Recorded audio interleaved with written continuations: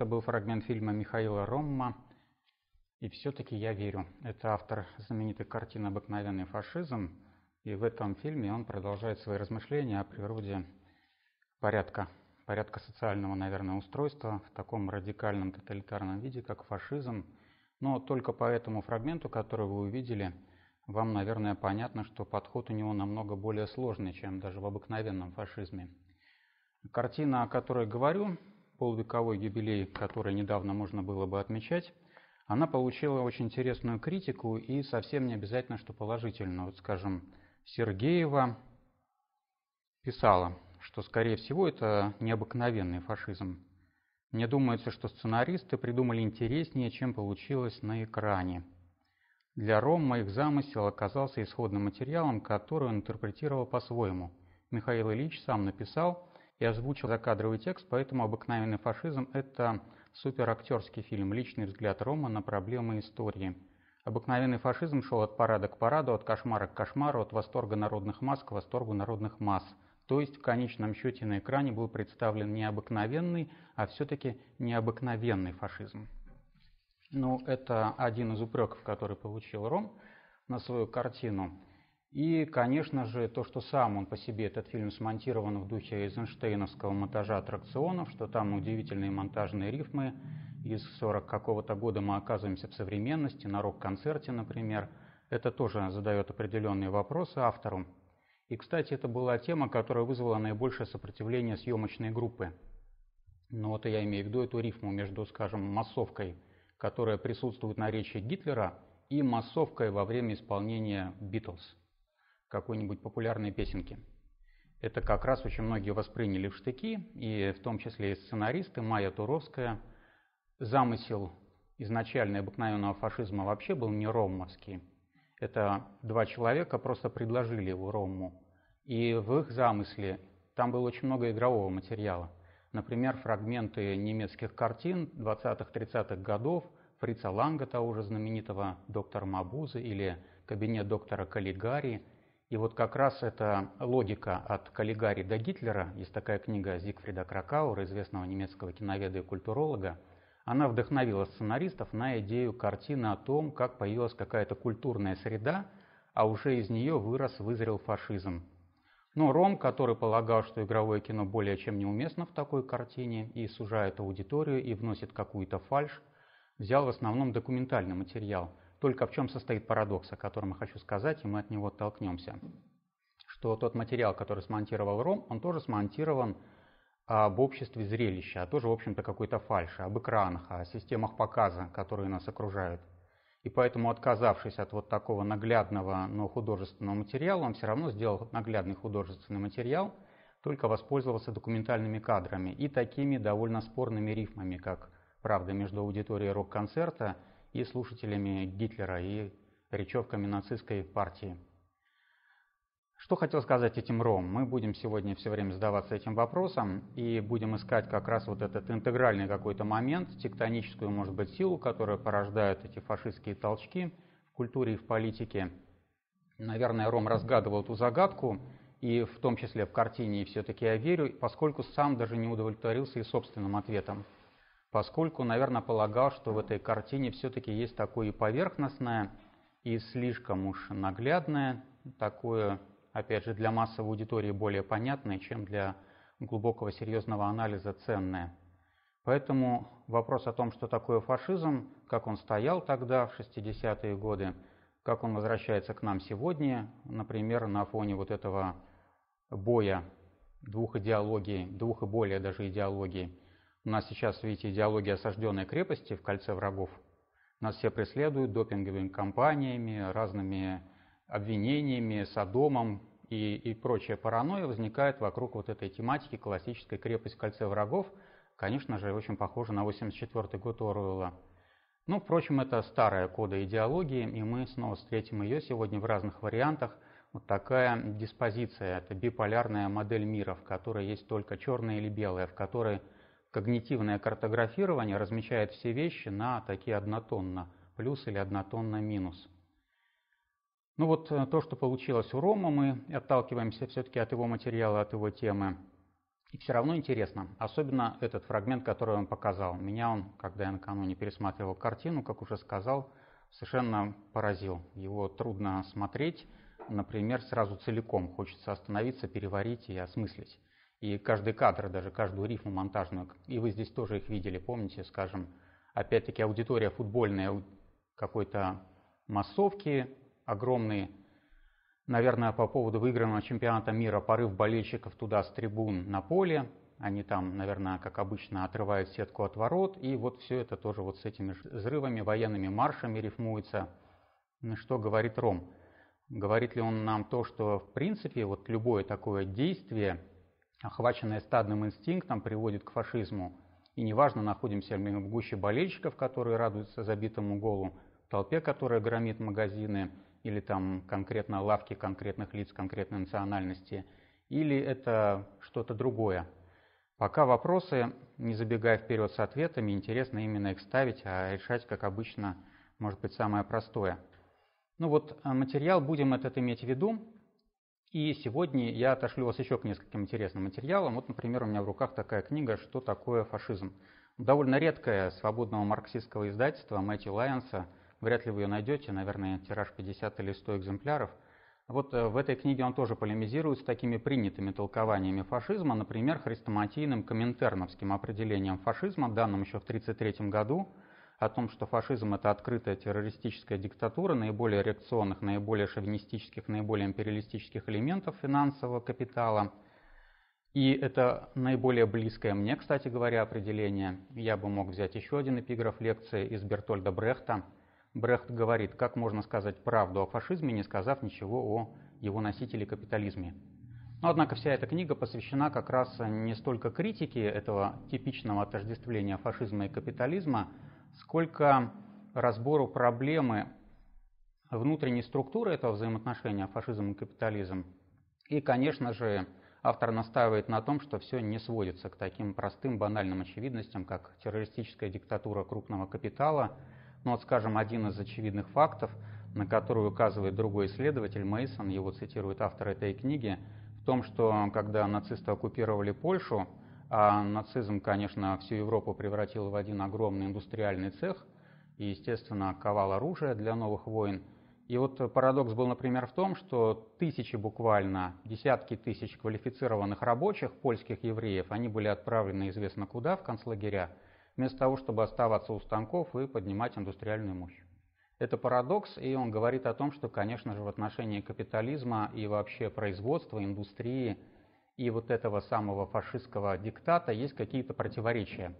На первых порах, как мы знаем, крупные финансисты здорово помогли Гитлеру, и если есть логика Каллигари Гитлер, Ханна Арендт говорит даже о логике Кант-Гитлер, то можно говорить о логике Крупп-Гитлер – это самая очевидная логика, потому что, конечно же, спонсоры, крупные капиталисты, вот эти монополистические структуры финансовые, они огромное влияние оказали на то, что происходило в 30-е годы в Германии, да, в общем-то, и в Италии тоже.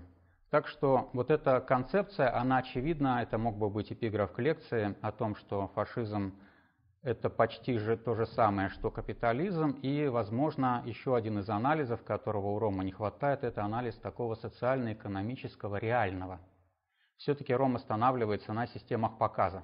Вспомните, сколько у него материалов, которые выглядят как видеоклип. Даже это то, что мы сейчас посмотрели. И смонтировано само по себе, и взяты эти визуальные материалы тоже, конечно, они вот как из фильмов Лени Рифеншталь, представляют собой парады, факельные фаер-шоу, разные пиротехнические чудеса. И поэтому, ну, как бы Славой Жижик сказал, тоже все это весьма похоже на концерт группы «Рамштайн». Там примерно похожая же реакция аудитории, там, кстати говоря, немецкий выразительный язык, конечно же, там всякие чудеса, спецэффекты, там речевки, там полное жжение аудитории очень простыми тезисами – но э, Жижек как раз не придерживается этой очень простой банальной версии, что вот Рамштайн это и есть еще один какой-то носитель, частичка культурный геном, из которого вырастает фашизм. Как раз Жижик говорит о том, что неплохо бы очистить фашизм вот от такой связи с теми же самыми, например, рок-тусовками, что неплохо бы просто, например, собирать зрителей на концертах и никак не толкать им при этом идеологическую чушь, не превращать это в такие речи Гитлера в пивной. То есть отдельно рок-концерты, отдельно идеологические массовки. И поэтому вот если бы, правда, возможно, рокеры лучше делали свою работу, то толпа не стекалась бы туда, в другое место, и ее не захватывали бы другие ораторы, поэтому пускай себе Рамштайн занимается тем, чем он занимается, в этом как раз полагает Жижик, никакого вреда нет. Но у Рома мы видим, что здесь вот такая тоже мешанина может быть из разных символических элементов, которые составляют дискурс или образную систему фашизма. Теперь нам понадобится чуть более сложный материал. Нам никак не обойтись без триады Жака Марии Эмиля Лакана. Всем известна, я думаю, топика и триада Фрейда «Я, оно и сверх-я». Это почти то же самое, но после полувека, конечно, активного внедрения Лакана в том числе даже в массовую культуру, не то чтобы в массовую философию, я растолкую так очень бегло и приблизительно. Реально, это такой неассимилируемый остаток, как определяет Лакан. Это вот первичное, реальное, то, что за пределом знания, за пределом репрезентации, то, о чем мы сказать не можем. Экзистенциалисты назвали бы это, например, тревогой. То, что идет из глубины нашей психики, но мы только можем обналичить это в определенный страх, а понять, чего мы в действительности боимся, это и психиатр пока что не умеет сделать и, по крайней мере, даже это излечить. Или можно было бы в терминах, конечно, классического психоанализа сказать, что это есть оно. Тоже такая глубина, бездонный колодец нашего существования, в котором что-то есть без сомнения, но когда оно выходит наружу, это уже компромисс. Это уже символ, знак, это то, что можно интерпретировать, но это не само реальное, не сама вот эта же глубина. Воображаемое символическое – это как будто бы экраны, щиты, или вот эти самые, правда, компромиссные выходы, или все-таки такие, лучше сказать, человеческие уже, а не только животные зоны психики, которые возникают вместе с нашей социализацией, взрослением и усвоением какого-то языка и системы кодировок. Скажем, первичная идентификация, воображаемая, это же и второй уровень психического нашего существования, второй модус, второй регистр – он начинается, ну вот, почитайте Лакана «Стадию зеркала», с формированием этой зеркальной реакции на раздражители, окружающие нас вещи. Маленький ребенок не просто узнает себя, он узнает себя в отражении. Ему его индивидуальность приписывает. Помните, как вечная вот эта вот красивая сценка, в кавычках красивая, когда приходят гости, и молодая пара сразу спешит им показать ребенка, допрашивая, на кого похож, на маму, на папу. И потом ему всю жизнь будет собирать его субъективность из маминого, папиного, бабушкиного, даже и поп-идолов и разных образов, которые нас окружают. Поэтому так формируется в отчуждающей первичной идентификации «моё я», и, конечно, это же то же самое фрейдовское «я», второй регистр, но штука у Лакана в том, что это «я» именно что фальшивое, отчуждающее, потерянное. Это какая-то поэма об автономном «я», говорит он.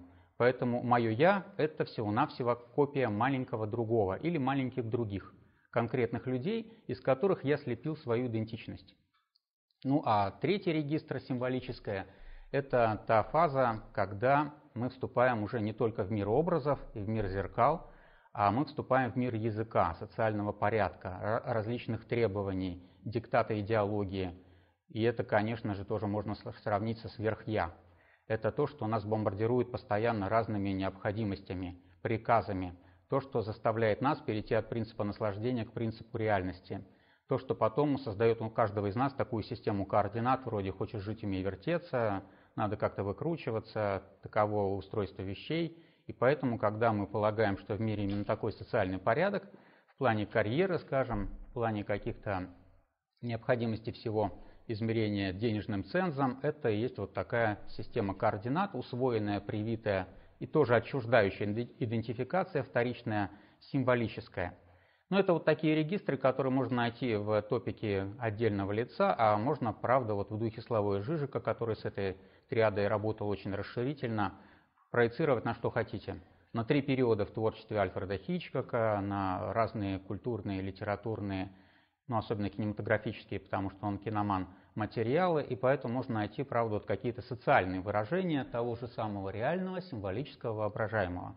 Ну, как предварительно давайте представим себе, с учетом того, что мы говорим о фашизме, с уточнением фасцизм, да, вот возвращаясь к этому определению от э, бодрияровского понятия «фасцинировать», от латинского «фасция», то есть зачарованность, вовлеченность, почти гипнотический эффект. Так вот, если такой зачарованный фашизм, как и у Михаила Рома, это зачарованный знаками фашизма, снова вообразим себе весь этот выразительный видеоряд.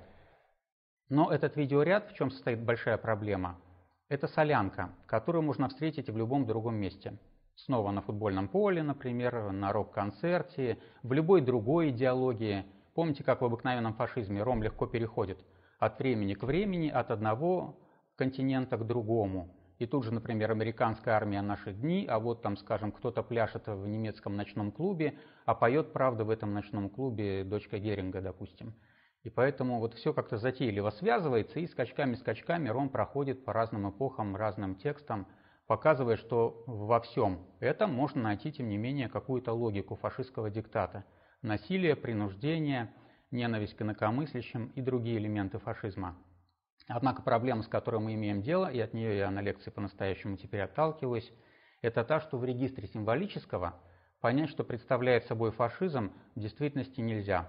Это абсолютная окрошка. Как выглядит примерно, и в том числе у Михаила Рома, эта модель, если ее перекладывать конкретно, эксплицировать на анализ феномена фашизма. На уровне воображаемого это такая фасцинированность и зачарованность образами. Ну, вот та самая харизма ораторская Гитлера или Муссолини. Помните тоже, какое внимание Ром посвящает этому моменту. Как там перед зеркалом тренировался Гитлер, какое количество фотоснимков, как он отточивал каждый жест. То же самое с Муссолини, его паузы, его выражения, его закатывание глаз, его волевой подбородок, который он так вот демонстрирует, примерно как Цой, кстати говоря. И поэтому это вот такая зачарованность образом, но образом маленького другого. Нас не должно смущать, что это вождь, диктатор, трибун, все равно это маленький другой. Можно влюбиться в идеологию, влюбившись в конкретного человека. Ну, каждый, кто носит майку там а, или рвет ее за Путина, знаете, это вот вроде бы какая-то пиар-компания, очень хорошо оплачена из нашего бюджета западной фирме, которая и придумала Путина на медведе, Путина с обнаженным торсом и вот эти вот снимки, которые очень любят женщины на Западе. Поэтому это вот такой маленький другой. Конечно, он символизирует мускульную мощь вообще империи. Конечно же, он представляет собой тело идеологии, но все равно маленький другой. Все равно, согласитесь, вот как тоже можно посмотреть на Муссолини или Гитлера, что делает Михаил Ром. Да, посмотрите, как они повелевают толпами, но как они смешны, как смешны их жесты. Помните этот жест, над которым иронизирует Ром, когда Гитлер складывает руки у себя на паху. И потом все так делают, говорит он. Или помните, как он подбирается к месту, сейчас сядет, нет, вот сейчас сядет, нет, погодите, сел. И поэтому Просто Ром наблюдает за ним как микроскоп, как за букашкой, которая выступает перед другими букашками. И все равно это маленький другой, все равно этот гипнотический эффект, он может быть даже и проходящий. Или символический уровень. На символическом уровне мы имеем дело со знаками. Ну, например, у Бодрияра в симуляции и симулякрах есть замечательный анализ такого симулякра, как географическая карта. Географическая карта, говорит Бодрияр, она проектирует территорию, создает территорию. Ну, буквально. То есть, например, представьте себе карты спорных территорий. Курильские острова. На одной карте таким цветом, на другой таким цветом. Или какая, например, центральная часть на карте, если мы имеем дело с Соединенными Штатами или с Россией. Конечно, там Евразия в центре, здесь Северная Америка. И поэтому карта создает ощущение территории, и даже, правда, некоторые территории, которые даже фактически не принадлежат данному режиму, она аннексирует пока что в воображении, а потом и в реальности, потому что готовит, потому что карта, конечно, борется за воображение. Это есть та самая процедура когнитивного картографирования. Так что на уровне символического мы имеем дело с вот этими значками, стрелочками. Помните, кстати говоря, как в картах выглядят конкурирующие режимы. Красный и черный, например. Красный и белый. И поэтому это вот такая тоже раскрашка, но раскрашка на уровне символического. Но, естественно, все остальное тоже здесь в этом регистре. Деньги – самый главный, наверное, инструмент кодировки идеологии, который, как говорит Борис Гройс, вообще заменяет сегодня язык. В одной из его книг «Этика политики», по-моему, излагается теория того, что на данном этапе деньги стали единственным медиумом, таким, как раньше был язык, литература, тексты. А сейчас деньги производят, регулируют, производят в том числе человеческие отношения – и мы уже не нуждаемся в объяснениях, нам достаточно расчетов, статистики и такого вот аргумента. Поэтому тоже можно сюда же это отнести к регистру символического. Однако в чем стоит настоящая проблема, глядя теперь на эту схему и видя там знак вопроса на месте реального? Проблема в том, что и на уровне воображаемого, и на уровне символического фашизм не идентифицируется. То есть, правда, как это была солянка, это окрошка такая из различных ингредиентов, так она и остается. Еще раз представим себе, из чего по версии Рома состоит фашизм. Кстати, там даже есть такие хорошие элементы. Помните, например, он издевается над э, ритуалом немецким коллективных обедов, помните, в Берлине? То есть все в один момент времени, в какой-то час дня принимают общую пищу. И даже вожди Рейха там на улице. Тоже, опять же, Ром анализирует, э, иронизирует, действительно ли этот Геринг прихлебнул или сделал вид, поморщился он или нет вот этой общей пищей. Ну, а помните, как у нас бывает, например, когда на День Победы полевая кухня работает? А что в этом плохого, собственно говоря? Это прекрасно, когда есть такие формы коллективного объединения, когда даже вот, правда, в христианстве это таинство особое через хлеб и вино, ну а в Третьем Рейхе это тоже получается через пищу. И поэтому, если вот на этом основании идентифицировать фашизм, мимо. То же самое толпы. Где собираются толпы? Не обязательно, что толпы идут громить. Не обязательно, что правда поведение футбольных фанатов это вот такой какой-то латентный фашизм. Знаете, как это сегодня называется около футбол. Такая весьма странная среда и не очень благополучная, достойная внимания милиции, из которой могут вырасти в том числе и фашистские группировки. И правда иногда вырастают. Но всякое ли, правда, поведение футбольного болельщика может быть легко классифицировано как такое околофутбольно-фашистское. Понятно, что это наивно.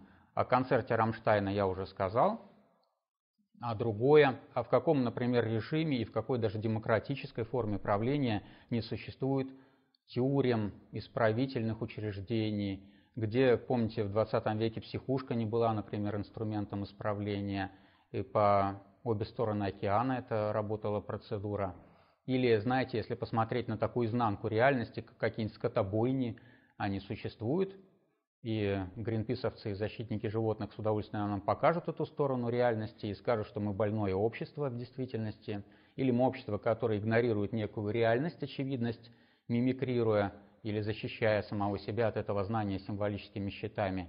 Так что вот все эти компоненты, взятые в отдельности – фильме Михаила Рома, они не указывают нам на фашизм.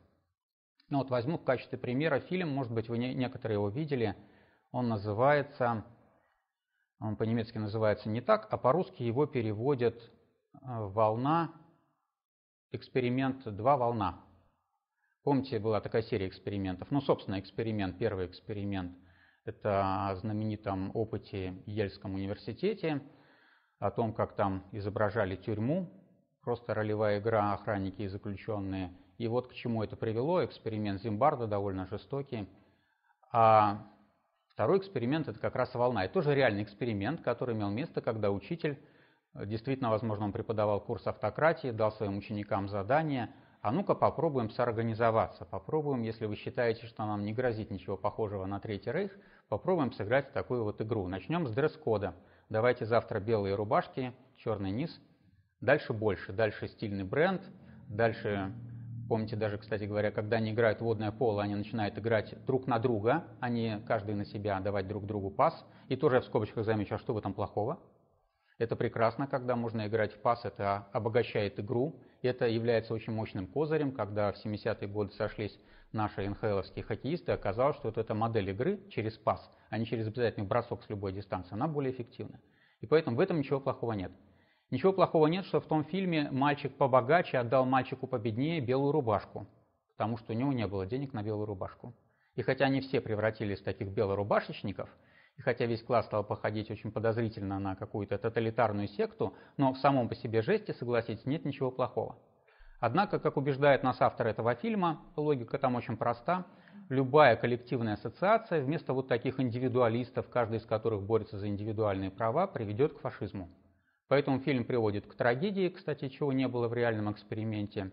Поэтому там, конечно, настоящая мания возникает, психоз, паранойя, фашистская ассоциация. И совершенно понятно, что это вообще не анализ проблемы, а какая-то идеологическая шпаргалка. Просто страшилка.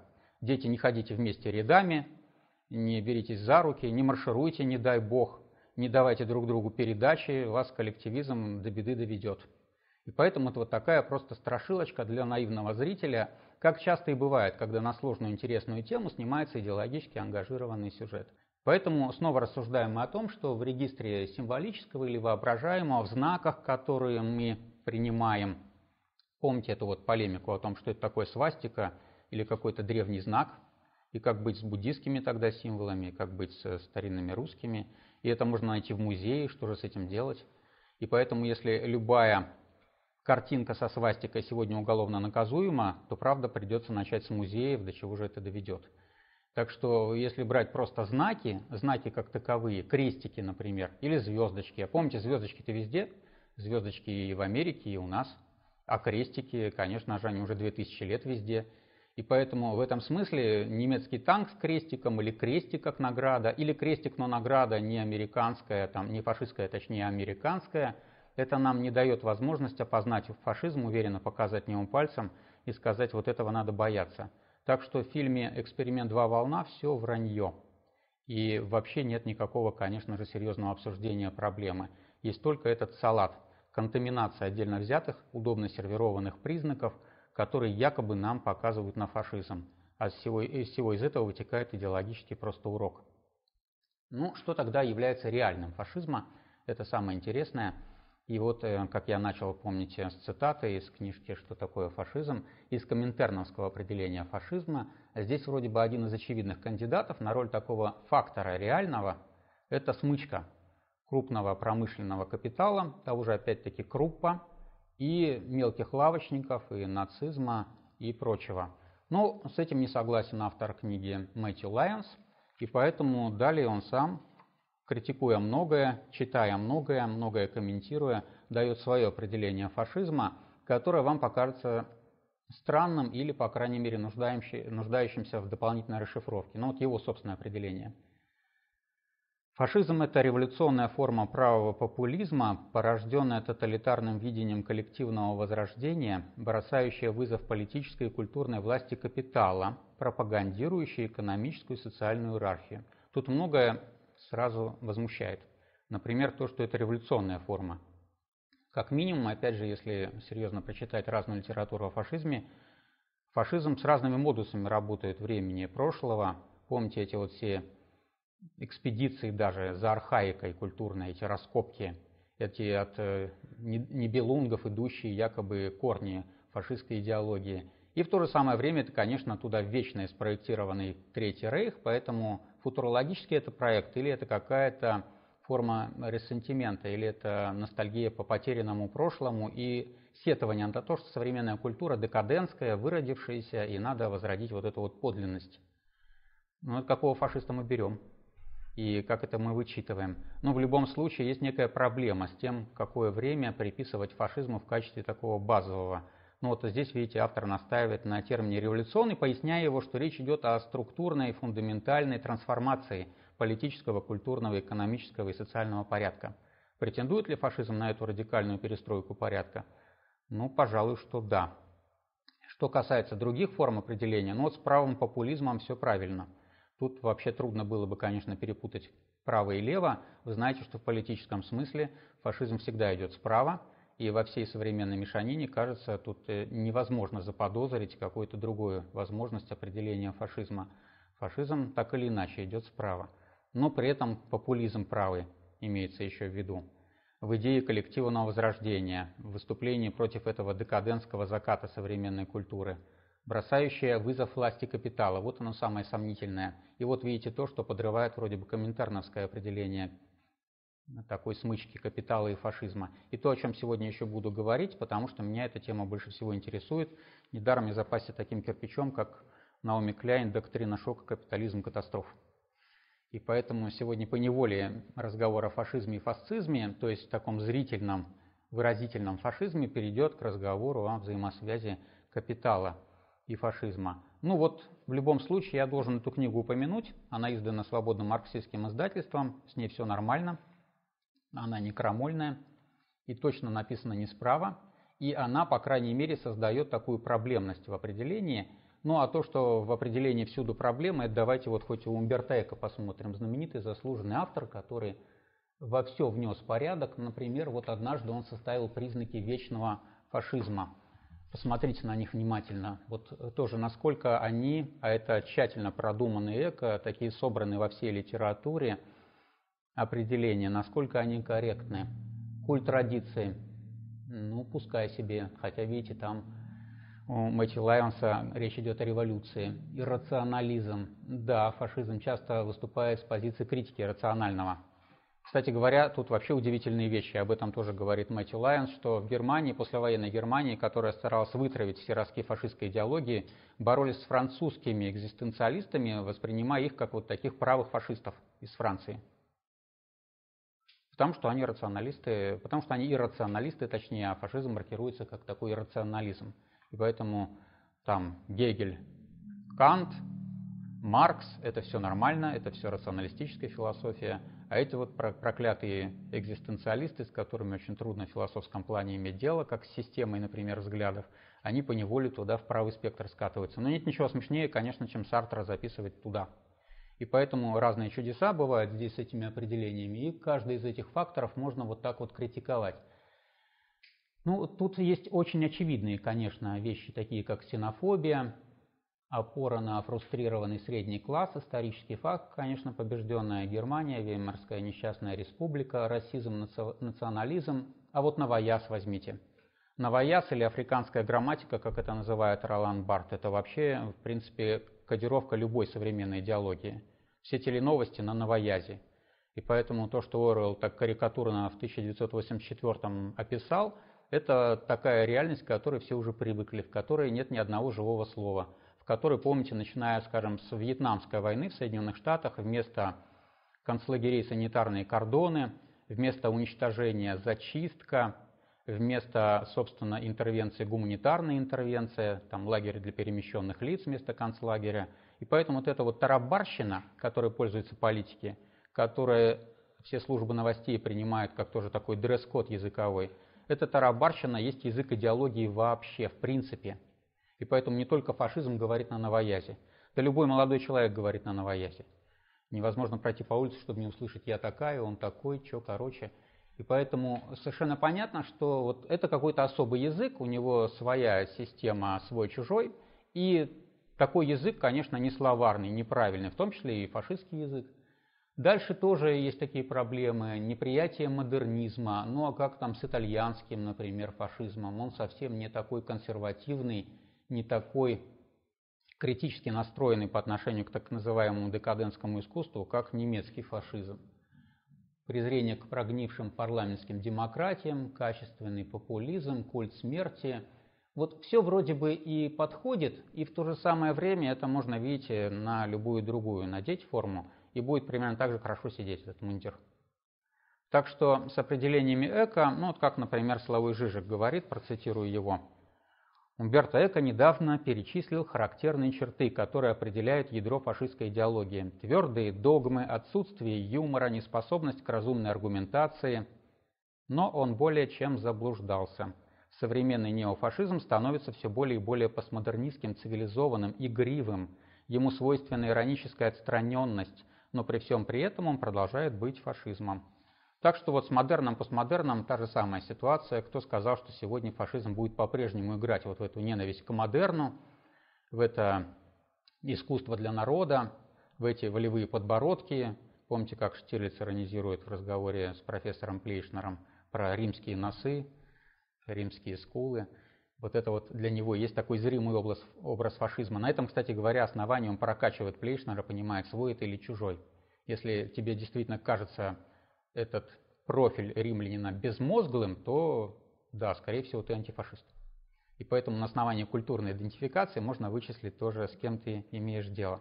Ну вот, э, то есть здесь тоже такой порядок очень сомнительный у Умберто Эко как и в разной прочей литературе о фашизме, поэтому мы сегодня будем идти от такого темного леса, в котором много чего намешано, к каким-то содержательным признакам фашизма. Хотя и в том, что мы посмотрели здесь на доске, тоже, конечно, очевидность какая-то и качественная даже точность есть.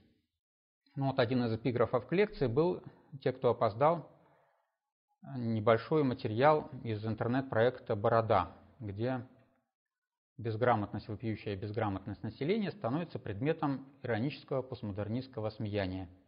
И на простые предложения, кто такой Ленин, правда, например, или назовите простые числа из первого десятка, все начинают считать 1, 2, 3, 4, 5, 6, 7, 8, 9. А что такое простые числа, вспомним.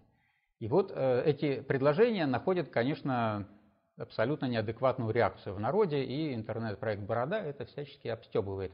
Все это забавно, занятно, и такой антиинтеллектуализм фашизма. Это, возможно, была бы базовая характеристика, но поскольку очень долго говорил, очень быстро как раз пришло время немножко развеяться и на тему такого интеллектуального, современного, проблематичного состояния общества, которое, как возможно, является благоприятной средой для фашизма или вот этого фасцизма, этой завороженности зрелищем, когда слова не нужны, а тексты читать э, сил нет – и поэтому зачем нам, правда, крутить колесико мышки, достаточно просто кликать на картинки. Ну вот на эту тему давайте посмотрим два сразу фрагмента. Один мой самый любимый, я его ставлю вообще во все лекции практически. Это фрагмент фильма Бориса Соболева, очень хорошего корреспондента, автора нескольких сенсационных, даже можно сказать, программ «Коронованные особи». Может быть, увидели, он давно уже вышел, про изнанку конкурсов красоты – там было знаменитое то самое интервью с Инной Жирковой, после которого появилось словосочетание «синдром Жирковой», «феномен Жирковой». Ну и много всего такого забавного. А здесь всего буквально две минуты разговор с красавицами, которые позиционируются создателями конкурса, кстати говоря, Санкт-Петербургского, еще и как умницы. Вот что эти умницы знают, давайте посмотрим. Очень приятный материал. Кто изображен на памятнике «Медный всадник»? Понятно. Чем знаменит Иван Сусанин? Был великим путешественником. На отечественном конкурсном Олимпе зажглась новая звезда – российская красавица, национальный фестиваль красоты, ума и таланта. Кто изображен на памятнике «Медный всадник»? А, детский. Назовите страну, название которой состоит из двух слов. Усть-Илимск. Страну. Страну. Куала-Лампур. Страну. Нью-Йорк. Классическое воспитание, прекрасная образованность, широта кругозора – вот что выгодно отличает наших финалисток от участниц других конкурсов. Сколько было мировых войн? А, я обязательно прямо отвечать на все вопросы? Нет, конечно. Кто изображен на памятнике «Медный всадник»?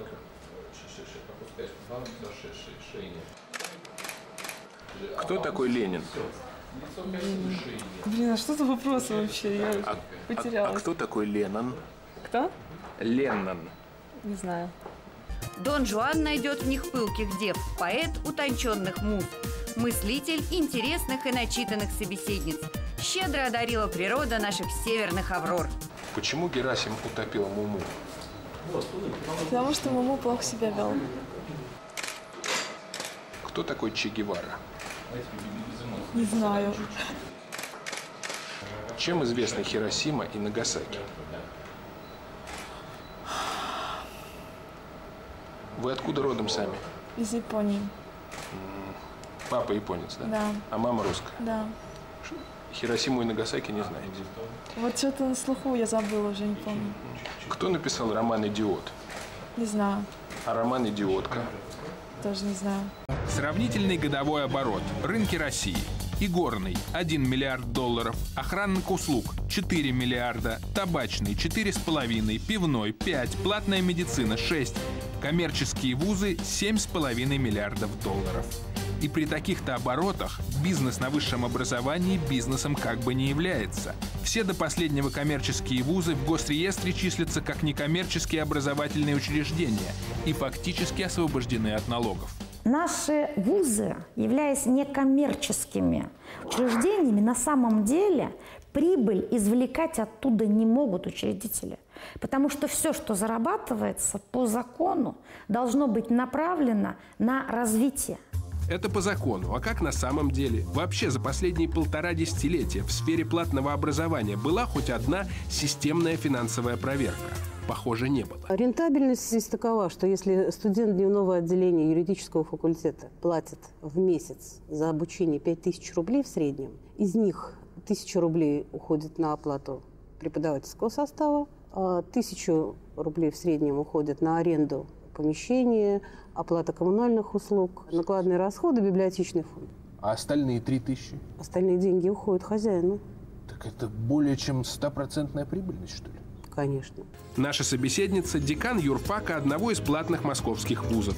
Говорит, что у их учредителя таких заведений по городу аж 9 штук, что он бывший бандит, на педагогах экономит, зато недавно купил себе самолет. С официального сайта вашего вуза. Структура профессорско-преподавательского состава. А доктора наук 15%, кандидаты наук 79%, без ученой степени 6%. Это правда? Это полная чушь, потому что у нас было два доктора наук, один ушел, а второй доктор наук медицинских остался. В юридическом вузе? В юридическом вузе. А кандидаты? А кандидаты наук их можно пересчитать по пальцам одной руки. И что вы делаете? А, мы привлекаем э, гастробайтеров, преподавателей из других регионов. А что остается делать? Ну вот доктор наук 220 рублей в рублей час, в час, да? Кандидат наук 190. Какой же сумасшедший пойдет за такие деньги в Москве? И снова Смоленская глубинка. Филиал на сей раз уже Международной академии туризма – 250 студентов ежегодно приносят сюда около 7 миллионов рублей. На зарплаты и так называемую материально-техническую базу, вы видите, в каком она состоянии, тратится от силы миллион. Где остальные 6? Видимо, ушли на смену вывесок. Мы переменим ее, информацию изменим и через недельку поставим на место. Только с новой информацией. С новым вузом? Да. Теперь здесь будет высшая школа менеджмента, пятый вуз города – для сведения, из-за перехода на 11-летку в этом году в вяземских школах нет ни одного выпускника. Кто будет учиться в коммерческих академиях, непонятно. Кто преподавать, тем более. Возьми один всего доктор наук. Для вуза надо, ну, минимум 2-3 доктора наук. Знаете, что такое три доктора? Где их найти? Ну, пишут все, из Москвы приезжают. Ну, это же ложь, они же никогда не приезжают. Мы как-то говорили вам, что в раю сложнее, намного сложнее, чем здесь. Филиал Волгоградского госуниверситета, Волжский гуманитарный институт. Здесь тоже, как водится, гордятся своими международными связями и учат по якобы всемирно признанным методикам. Видеосеминар «Практика общения с загробным миром». Э, в чем заключается функция добрых духов? В общем понятии. Есть и добрый дух, и злые. Дальше теоретические занятия. Авторский спецкурс «Конструктивные особенности НЛО». 25% занимает э, металл, следующее 30% биологическая масса, то есть она как резина. Он 4% занимает э, магнитная э, какой-то запитка. Говорит, вот запитаешь магнитной, и тогда на корабле можно летать. По форме тарелочки подразделяются на выгнуто-пупырчатые, вогнуто-пузырчатые и углубленные на вроде суповых. Обратите внимание на лица студентов. Ни усмешки, ни тени сомнения, полное доверие к происходящему. Конечно, инопланетяне есть, все это существует, все это э, при большом желании можно увидеть, поэтому что-то отрицать здесь, как бы, я считаю, это неправильно. Это наука очень серьезная. Из диалога преподавателя уфологии с пилотом, плотно засевшей в его мозгах летающей тарелки. Я спросил, а на каких кораблях вы летали, и вы знаете, и вы знаете, что летает не по прямым, а через червоточины, по крайней мере, преодолевая э, иные измерения. Он сразу, конечно, мы только стартуем и уже около земли. Еще раз отметим, дело происходит не в частной лавочке, а в филиале крупнейшего в регионе государственного вуза, обязанного, ну хотя бы ради приличия, соблюдать федеральные образовательные стандарты. Интересные рефераты были про как раз привидения, а, полтергейсты, также и про а, энергетический вампиризм, тоже очень хорошая тема, актуальная. Конец занятия. Из кейса извлекаются так называемые рамки. Студенты по очереди подходят к преподавателю. Как там у нас с половой чакрой? Угу. Работает. Сердечная работает, хорошо. Ну а как с головой? Ну, более-менее, более-менее. Все это называется, это ж надо додуматься, контроль за успеваемостью учащихся методом биолокации. Сердечная чакра, ну видно, что человек добрый и так далее. Ну и купол, так сказать, он ну, хорошо, значит человек учится хорошо. Цена обучения 200 тысяч рублей. Специалистам по барабашкам дается пятилетняя отсрочка от армии и вручается вузовский диплом государственного образца. Его иностранный перевод можно заказать за отдельную плату. Отдохнули, посмеялись, а в действительности тема очень грустная. Если вы посмотрите все четыре части этого фильма «На дне знаний», то у вас еще возникнет эффект такого дня сурка. Там, скажем, в первой части, когда они ловят с поличным взяточников, снимают скрытой камерой – а во второй, в третьей части, снятой спустя несколько лет, оказывается, что все на своих местах. Или, по крайней мере, просто сменили один вуз на другой. И те же взяточники-преподаватели, и те же проекторы-ректоры по-прежнему занимаются, кто кассой занимается, кто такими вот курсами. И все это, конечно, если вообразить себе масштабы, вспомните цифры, с которых мы начали, совокупный объем оборота, рынок побольше, видите, чем то, что нам кажется превосходящим этот рынок. И горный бизнес, например – и вот э, сейчас уже 11 миллиардов, а не те цифры, которые вы здесь видели. Все это, конечно, воображение просто поражает, а говоря о питательной среде для вот этого бездумного совершенно идеологического вируса, как и в том числе популизм правого толка фашистский, ну, разумеется, что это и представляет собой весьма благоприятные условия для его взрывания существования. Но дальше вы увидите в этом фильме «На дне знания», как Ситуация не только в провинциальных филиалах выглядит, но и на уровне столичных, серьезных московских заведений. И поэтому, конечно, совершенно фантастическая сейчас ситуация с образованием. Такого быть не может, как кажется, но я как человек, который 20 с лишним лет работаю, я могу видеть каждое из здесь увиденных явлений подтвердить. И такое бывает, по крайней мере, это точно. Поэтому на чем базируется фашизм, вот видите, в таком, правда, фрустрирующем классе, фрустрирующем обществе – на э, каких популистских лозунгах. Ну вот мы можем видеть, что не обязательно, что он должен быть немецким или итальянским. Совершенно понятно, что такие условия создаются в принципе очень легко методом социальной инженерии.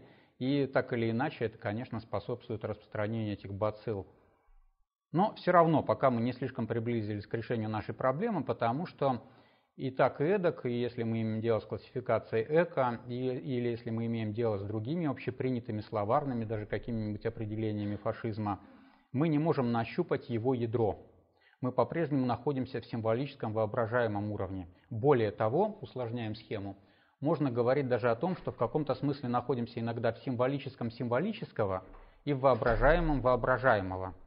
Не будем пугаться этих определений, то есть если просто символический регистр – это вот эта логика взаимодействия с языком, дискурсом, порядками разными социального устройства. Ну, помните, как у Пелевина, гламур и дискурс все определяют. Гламур – это дискурс в картинке, дискурс – это гламур. И поэтому тоже здесь чего не хватает? Не хватает реального. Снова получается, имеем дело только вот с этими нижними гранями проблемы – ну, то же самое у Рома, в основном воображаемое и символическое, а, пожалуй, что социально-экономическом и таком более серьезном, глубинном, внутреннем, в обыкновенном фашизме не слишком удовлетворительно сказано, отсюда и потребовалось другой фильм создать и развить вообще тему. Так вот, в таком случае можно говорить иногда только о символическом символическом. Это абсолютно ложное и запутывающее объяснение устройства социального порядка, где языки и знаки настолько прихотливо выстроены, что Возможно, всякие оксюмороны. Ну, помните, скажем, в 90-е годы был такой оксюморон красно-коричневый. И вообще, каких только фашизмов нет сейчас, если подумать. Вот когда Вольфганг Вельш написал статью об этимологии термина «постмодерн» и отмечал, что с ним тоже абсолютная ахинея, его употребляет кто, кто как угодно, и путая даже с постным маслом, возможно. И вот он там говорил, что есть и постмодерновые путешествия, и постмодернистская теология, и постмодернистская кулинария. Это все в быту, это все ходит. Ну а сейчас, видите, как только фашизмом э, мы что-то не интерпретируем и с этим словом что-то еще не связываем. И есть такие производные, как там демофашизм, либеральный фашизм, красный фашизм, конечно, куда без него, русский фашизм, еще один оксюморон удивительный. Ну и, и кулинарный фашизм, почему нет? Потому что чем дальше, тем сильнее нас зажимают любители здорового образа жизни. Так что, правда, возможно, как в голливудских антиутопиях, скоро, скоро вообще будет тяжело мясоедом или людям, которые вот сейчас уже, например, испытывают курильщики такое давление со стороны любителей здорового образа жизни. Я никогда не курил, не курю, но все равно я понимаю, что это некое насилие над теми, кто, кто находится в другой части социального спектра. И поэтому это вот всякие тоже, возможно, формы насилия, которые легко бы и, и просто, особенно в полемике, особенно когда идет просто обмен ругательствами, можно было определить как фашистские. Так что дайте кому-нибудь монтажный пульт, предоставьте ему разный материал, и он вам за 5 минут смонтирует салат из абсолютно любого текста визуального. И можно, правда, превратить там, скажем, ну, помните, как Бунюэль рифмовал, священников и скорпионов в Золотом веке. А когда Ельцин готовил к расстрелу парламента страну, во всех репортажах, снятых из э, последнего совета расстрелянного, народных депутатов тоже были такие монтажные рифмы. И, во-первых, депутаты все какие-то зевающие, сонные, только такими выхватывали их лица. И рифмуются они с какими-то насекомыми, что-то из мира животных. И поэтому так за несколько месяцев очень легко оказалось запрограммировать и подготовить соответствующий результат. Поэтому дайте кому-нибудь такие возможности монтажного оперирования этими символами, и он вам построит фашизм, где вы хотите. И это будет убедительно. И на уровне вот такой логики визуального вам этого, возможно, будет достаточно. Точно так же, конечно, можно говорить и о солянке из образов, а не только из знаков, вот таких симулякрах третьего порядка в терминологии Бодрияра. Воображляндия какая-то, знаете, вот что такое идеология. Есть э, серия Южного парка, даже, по-моему, две или три тематически связанных серии про воображляндию, про страну, где реально живут Микки Маус, всякие персонажи диснеевских мультфильмов, и ее захватывают террористы, и американский президент предлагает нанести ядерный удар по воображляндии, ну, как бы по коллективному фантастическому нации. Так что это идеологическая какая-то утопия, идеологический топос, да, лучше сказать, в котором образы самодостаточны, в котором они несут на себе еще какую-то социально-политическую маркировку, в котором они действительно образы иногда сами по себе захватывают, правят. Значит, мы должны все-таки видеть за символическим реальное и за воображаемым реальное, и поэтому переходим к такой схеме. Если я бы вовремя сделал это, я бы здесь нарисовал структуру Баромеева узла, то есть эти места, где пересекаются все три кружочка.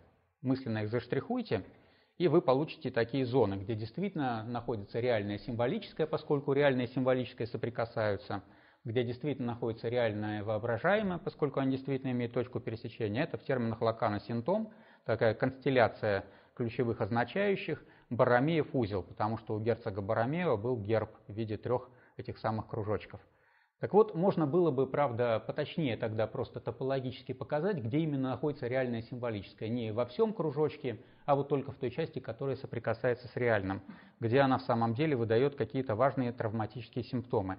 Как это показать на примере довольно наглядном? Возьмем знаменитое из Клода Левистроса исследование структуры племени под названием Виннибаго. Это племя делится, деревня этого племени, на людей верха и людей низа. И когда людям верха предлагают нарисовать картину, они рисуют вот эту картину, где деревня единая, единый кружок, но она разбита, посмотрите, посередине, диагонально. И поэтому вот у них так выглядит устройство, такое в голове, воображляндия тоже. Когда людей низа просят нарисовать, как выглядит эта деревня, они рисуют тоже кружочек, но уже не разделенный одной линией посередине, а два кружочка, в один, один в другом. Таким образом, оба они не объективны. Что говорит об этом словой наш Жижик? Что, хотя, конечно же, этот пример, это пример такого неправильного, необъективного, не имеющего дела ни с какой социальной реальностью вроде бы видения, и ни картина людей верха, ни картина людей низа не имеет дела с реальным топологическим устройством деревни, но я выделил жирным, с чем они действительно, обе эти картины имеют дело – так это с травматическим противоречием, антагонизмом фундаментальным. То есть в самом деле люди верха и люди низа это разные. В социальном, классовом, каком хотите, в культурном смысле люди. Так же, как оппозиция мужское и женское, например, дальше говорит Жижик. Или так же, как партии левые и правые. И поэтому, когда левая партия рисует карту когнитивного картографирования, создает карту, или когда правые партии рисуют себе тоже какие-то социальные противоречия, ну, например, в терминах фашистской идеологии социальные противоречия выглядят как противоречия производителей и паразитов. А под паразитами понимаются, конечно, там и мигранты, и евреи, и даже, может быть, какая-то часть буржуазии, и уж, конечно, леваки, и профсоюзы, и прочее такое. Улавливаете? Но когда с точки зрения левой идеологии мы тоже пытаемся маркировать конфликт, который естественно имеет место в обществе, он облекается в терминологию классовой теории. И это вот тот самый классовый конфликт, который представители старшего поколения изучали, записывали, конспектировали в вузах и школах. И поэтому тоже это как люди верха и люди низа, правое и левое. Но недаром на Славу Жижики Френч Сталина, и недаром все-таки это философ явно, очевидно, левацкий, с нашей с правильной позиции, смотри, смотрящей на происходящее. И тут мы, кстати, дошли до одной важной оговорки. Я хотел в самом начале лекции ее сделать, но в итоге до конца, до середины дотянул. Оговорка состоит в чем? Что любое рассуждение на такой, как на этой лекции, о таких вещах, как фашизм и вообще любая лекция, это, конечно же, процедура манипулирования слушателями, в том числе с точки зрения идеологической ангажированности лектора. Ну, как и все учебники истории, мы знаем, не объективны. Как и даже иногда науки точные, на самом деле тоже они такие с элементом нарратива и с элементом человеческого субъективного фактора идеологической окраски написаны. И поэтому первая оговорка должна была бы с нее начать лекция, начаться лекция следующая, что когда мы говорим об идеологии, как фашистской идеологии, идеология не может быть анализирована нейтрально – вот так вот, как она есть, да, как в природе, например, существует какое-то явление. Анализ идеологии всегда производится с методологических установок какой-то тоже, наверное, идеологии. Поэтому, открывая карты, моя идеология, конечно, неомарксистская. Поэтому я бы тоже мог в таком френче прочитать лекцию, если бы он у меня был. И поэтому, говоря о конфликте левого и правого, я все равно не нахожусь над. Да, я не нахожусь вот как этот белый человек, который сравнивает два плана деревень и рассуждает с позиции Господа Бога, наверное, о том, как в действительности устроена социальная реальность. Это первая оговорка. Вторая оговорка состоит в том, что, конечно же, идеология тоже это не идеология вообще, и фашистская идеология это не идеология вообще. Это какие-то частицы и носители идеологии. Ну вот у Михаила Рома мы видели эти носители, эти вот визуальные материалы, откуда они взялись. Откуда этих кадры хроники, например, конкретно берутся. Можно это все найти в архивах. И, кстати, в фильме и вот в этой книге «Обыкновенный фашизм» он раскрывает правду о происхождении некоторых источников, о том, откуда взялись, например, фотографии, где Гитлер позирует перед зеркалом и репетирует свои жесты. И поэтому можно найти вот эту вот правдивую историю того, как какие-то материалы попали, как они были обработаны и что они сами по себе представляют такое. Поэтому идеология, она в каких-то частицах и носителях находится. Но в силу своей обычной профессиональной нацеленности на сферу повседневности, я обыкновенно имею дело и анализирую такие формы повседневного быта, ну, как ролики рекламные, как то, что я вам показал с YouTube, это можно скачать, как видеоматериалы, как какие-то картинки. И поэтому это вот, конечно, такие, видите, не программные положения идеологии. Это не манифесты, которые можно где-то найти политических партий. Впрочем, впрочем, кто сейчас читает манифесты политических партий? Возможно, в духе вот этого переключения от фашизма к фасцизму мы просто давным-давно уже люди не нарратива, а люди визуального восприятия, и для нас достаточно одних образов, одних только символов. Поэтому, говоря о том, в каком носителе мы воспринимаем фашистскую идеологию, вот снова приходится говорить именно о фасцизме, о фасцинации, о нашей зачарованности образами, о нашей зачарованности вещами, которые мы, как в сфере повседневного устройства, носим сами с собой – знаменитое Марксово определение о том, что власть над нами мы носим в наших собственных карманах, в наше время приобрело абсолютно буквальный смысл. Это вот те самые телефоны, которые, как объяснил Сноуден, например, или Ассанж, за нами шпионят, смартфоны. У всех смартфонов очень широкая шпионская программа. Я думаю, у каждого третьего пользователя ноутбука камера заклеена. Я, посмотрев фильмы про Сноудена и Ассанжа, первым делом это сделал. И поэтому э, совершенно понятно, что есть такие технологии, которые позволяют отслеживать наше местоположение, которые, конечно, собирают о нас для всякой рекламы фоновой, контекстной всю информацию, так что любой запрос в поисковике, любое наше обращение к этой виртуальной реальности – это обращение сквозь призму досье, которое на нас составлено. Но данные для этого досье мы подбираем сами, как наши социальные сети и наши странички в социальных сетях. Мы уже облегчили работу налоговым агентам, кадровикам, Э, людям, таким как служебные судебные приставы, которые отслеживают тоже историю разных преступлений, поэтому у каждого из нас это досье про самого себя замечательно. Наверное, тоже половина здесь из вас сидящих смотрели фильм «Он вам не Димон». Если человек фотографирует сначала алые паруса, предположительно с яхты, да и действительно откуда бы еще, или покупает кроссовки через интернет, или занимается ведением Инстаграма с романтическими кадрами, что он, собственно говоря, еще хотел? Он сам на себя составил досье. Он сильно облегчил работу тем, кто с этим имеет дело профессионально. И поэтому вот эта вот наша власть над нами, видите, она, правда, в наших же руках, в наших карманах, это гаджеты, это вещицы, без которых мы не можем обойтись, и в которые мы на самом-то деле влюблены. Это есть фасцизм, это вот такое фасцинирование над нашими вещами. Это действительно какая-то удивительная новая, уже теперь молекулярная структура власти, о которой я рассказывал в предыдущей лекции «Эгоистичный ген идеологии». Темой той лекции была очень простая идея, что нет никакой координированной из центра единой системы идеологического диктата. Помните, как это выглядело в разных фильмах? Есть какая-то башня, антенна, какая-то программа, которая всем нам переставила мозги. Или какая-то матка инопланетная. Убей матку и сразу отступит вся эта зараза. Ну, все это было в прошлом, позапрошлом веке. Сейчас такой координированной центральной оси, вокруг которой накручивается паранойя, уже нет. Каждый из нас, э, как такой эгоистичный ген у Докинса, носит идеологию тоже еще и в индивидуальных экземплярах. И поэтому мы ее производим, как знаете, вот эти вот фотожабы какие-нибудь, демотиваторы. Мы занимаемся перепостами, мы ставим ей лайки. Возможно, как в «Черном зеркале» третьего сезона, первой серии третьего сезона, когда-нибудь лайки будут вообще нашим социальным паспортом. И в зависимости от нашего рейтинга у нас будет и жилье, и работа, и место в бизнес-классе самолета и так далее. И поэтому, возможно, мы уже на пути к такому обществу или уже находимся в нем, точнее. Так что это вот и есть такой, видите, фасцизм в чистом виде, о котором я планировал всю лекцию рассказать, но меня так захватила тема классического фашизма и его реального, спрятанного под знаком вопроса, что я основному тезису лекции посвящаю сегодня не так много времени. И поэтому мы снова вернемся к нашей схеме. Реальное, реальное, реальное, символическое – реальное воображаемое. И будем искать те элементы, где в дискурсе, ну то есть как в языке, как в деньгах, как в символических системах, проступает некое реальное. Я привел пример как раз из Клода Левистроса. Так оно и есть. Две карты, и на них можно было бы не обратить внимания или посчитать, что обе они кривые – и сделать правильную аэрографическую фотосъемку и посчитать, что это нормальное изображение социальной реальности. Но абсолютно правильно обращает внимание на это Славой Жижик, что это вот такая спрятанная травматологическая картина реальности. И в ней самое интересное это разделительная линия, как бы она ни выглядела, прямая или концентрическая. И поэтому то же самое, наверное, и с этими противоречиями в системе координат левых и правых. Для фашистов это конфликт паразитов – которых нужно вывести.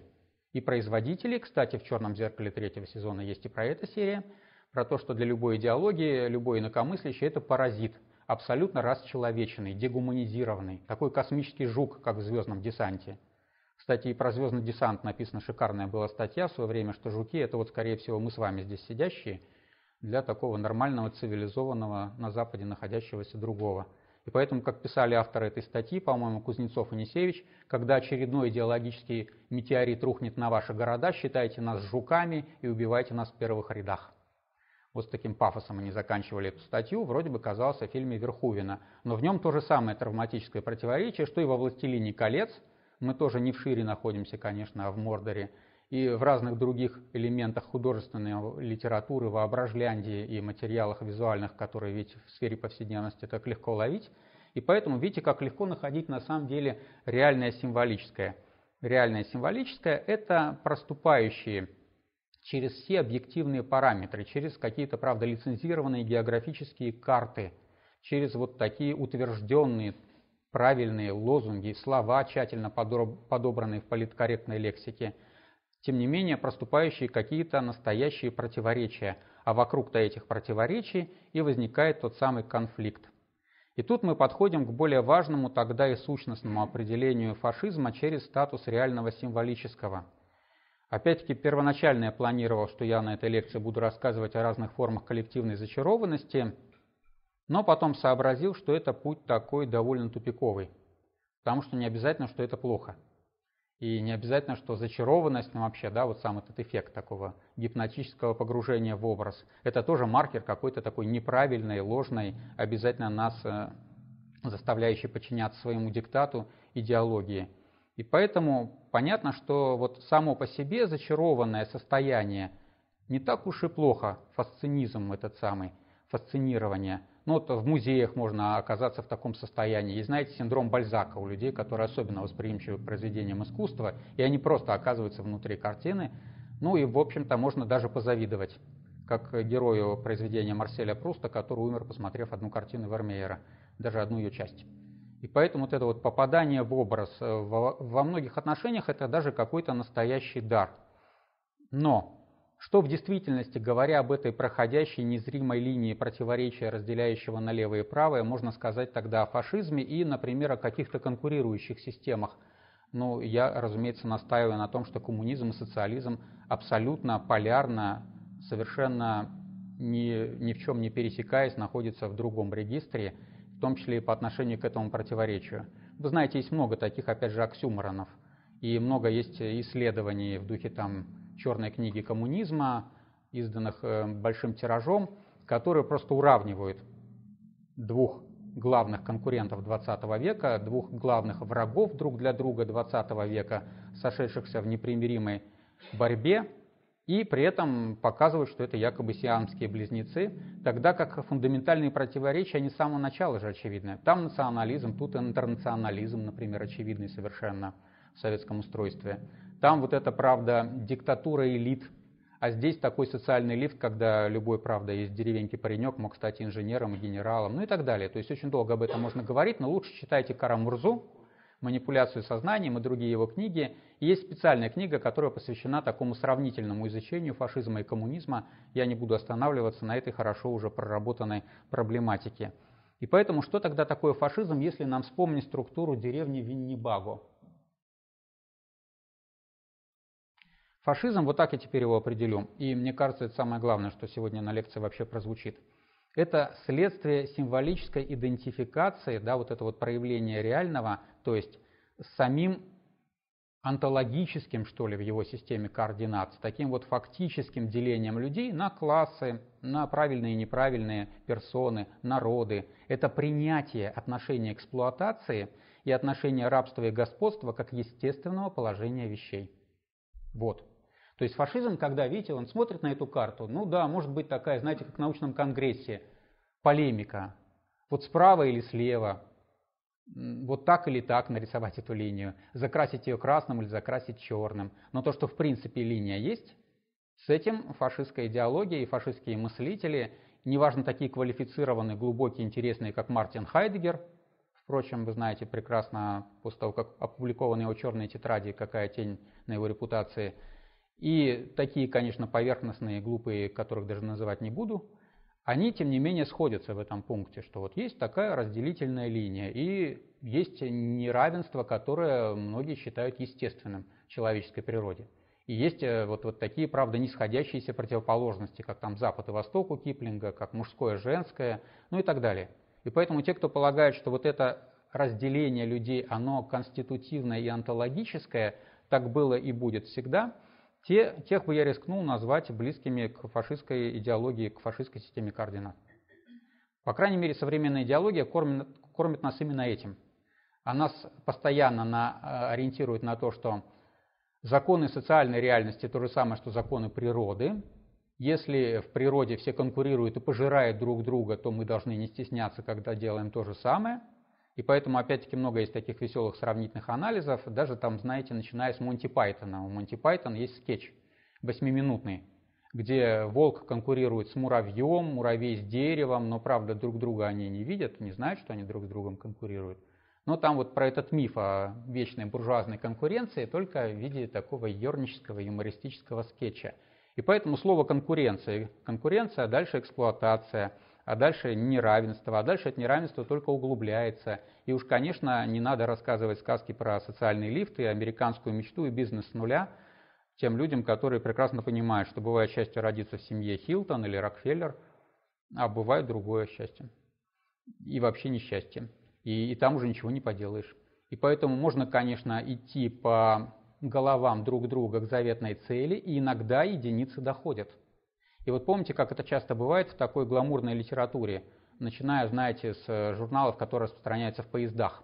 Там на обложке очередная поп-звезда. И она рассказывает, что я на самом деле из Тамбова, у меня бабушка бедная, ну и так далее.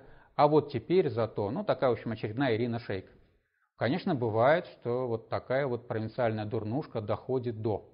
Однако снова отсылаю к творчеству Бориса Соболева, посмотрите фильм «Коронованные особи», там и об этом в том числе говорится, скажем, о том, какая конкуренция в модельном бизнесе, куда стремятся все. Как э, он объясняет, из 200 примерно модельных агентств в Москве 195 занимаются фактически проституцией и сутенерством. Ну, а 5 оставшихся, там конкурс не менее чем 100 человек на место. И поэтому, если вы действительно хотите пройти по головам, реально оцените шансы. Последняя часть этого фильма – это такой социальный эксперимент, когда тоже девушку из провинции, модель, он посылает на один, на другой, на третий кастинг, это записывается. Ну и вот на третьем уже кастинге действительно происходит разговор с таким сутенером, который объясняет, в чем состоит на самом деле ее дело в модельном агентстве. Быстро и доходчиво. И поэтому можно, конечно, вообразить себе такую победительную американскую мечту в картинках, фильмах, комиксах, опять же, скорее всего – но в реальности, в социальной реальности, в той системе образования, с которой мы сейчас познакомились на небольших материалах, в той системе координат, которая создает это образование, ведь в чем на самом деле диагноз внутри вот этого фильма «На дне знаний»? Диагноз не только в том, что, знаете, как бы сказал Андрей Курпатов, мы находимся в эпохе цифрового слабоумия, э, псевдодебильности, информационной, и поэтому нас гаджеты отупляют как таковые. Но об этом написана, скажем, книга Манфреда Шпицера «Антимозг», о том, что в большинстве случаев современные технологии, они, правда, сначала облегчают, потом блокируют, а потом просто в рудиментарные органы превращают части раздела нашего головного мозга. С фактами, с цифрами. Есть такая проблема. Но есть другая проблема в отношении к нашему образованию. Не только в том, что там много техники а там, вы видите ли, не так много техники в этих провинциальных филиалах, где даже студентов за партами нет. Там все деньги и ресурсы уходят на другое. И поэтому дело только в продажности, в том, что человек, получивший диплом, на самом деле не может даже написать одну фразу по-русски. И тоже в каких-то частях этого фильма вы увидите выдающиеся примеры. Юристы, которые не знают, э, какие там статьи Конституции, какая первая статья и филологи, которые не могут без ошибки написать ни единого слова. И это все люди не так опасны, как опасны, например, врачи. По статистике из этого же фильма 30% диагнозов, которые ставятся в России, неправильные. Такого процента нет ни, ни в одном другом наверное, государстве, кроме каких-то африканских, возможно. А потому что и дипломы медицинских вузов, и там конкретно медицинские вузы в разрезе показываются, получается примерно таким же образом. Поэтому диагноз один – это полная монетизация образования. Это превращение образования в платную услугу. Это превращение, как сказал один из министров образования, человека, субъекта образования из человека мыслящего и мыслящего широко в потребителя этих услуг, просто в потребителя. И поэтому вот это на самом деле главный диагноз всех частей этой картины на дне знаний. И это, видите, конечно, и к разговору о фашизме имеет отношение, к разговору о политике и власти идеологии, которая имеет такую прагматику просто. И относительно того, о чем я говорю, тоже это вот такое вот реальное. Реальное, которое конституирует нищету, неразвитость, необразованность, низкий интеллектуальный уровень, как даже какую-то социальную необходимость. И здесь все-таки все на сотовый телефон и не сведешь, как бы это ни соблазнительно было. И на Дом-2, и на отупляющие телепрограммы. Здесь какая-то структурная гниль на всех уровнях системы образования, где преподавательница философии не стесняется, что она берет взятки персонаж одного из фильмов – ведь особенно обидно, что она преподаватель философии, таких хочется просто лично расстрелять.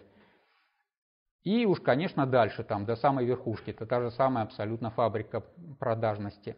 Поэтому продажность, монетизация, переход опять-таки от медиума языка и медиума знания к медиуму денег. Вот диагноз, который ставит герой этого фильма, ну, точнее, журналист-автор этого фильма – чтобы вас не утомлять, давайте еще посмотрим маленькие фрагментики. Я их больше подготовил, но по ходу лекции какие-то мысленно отсеял.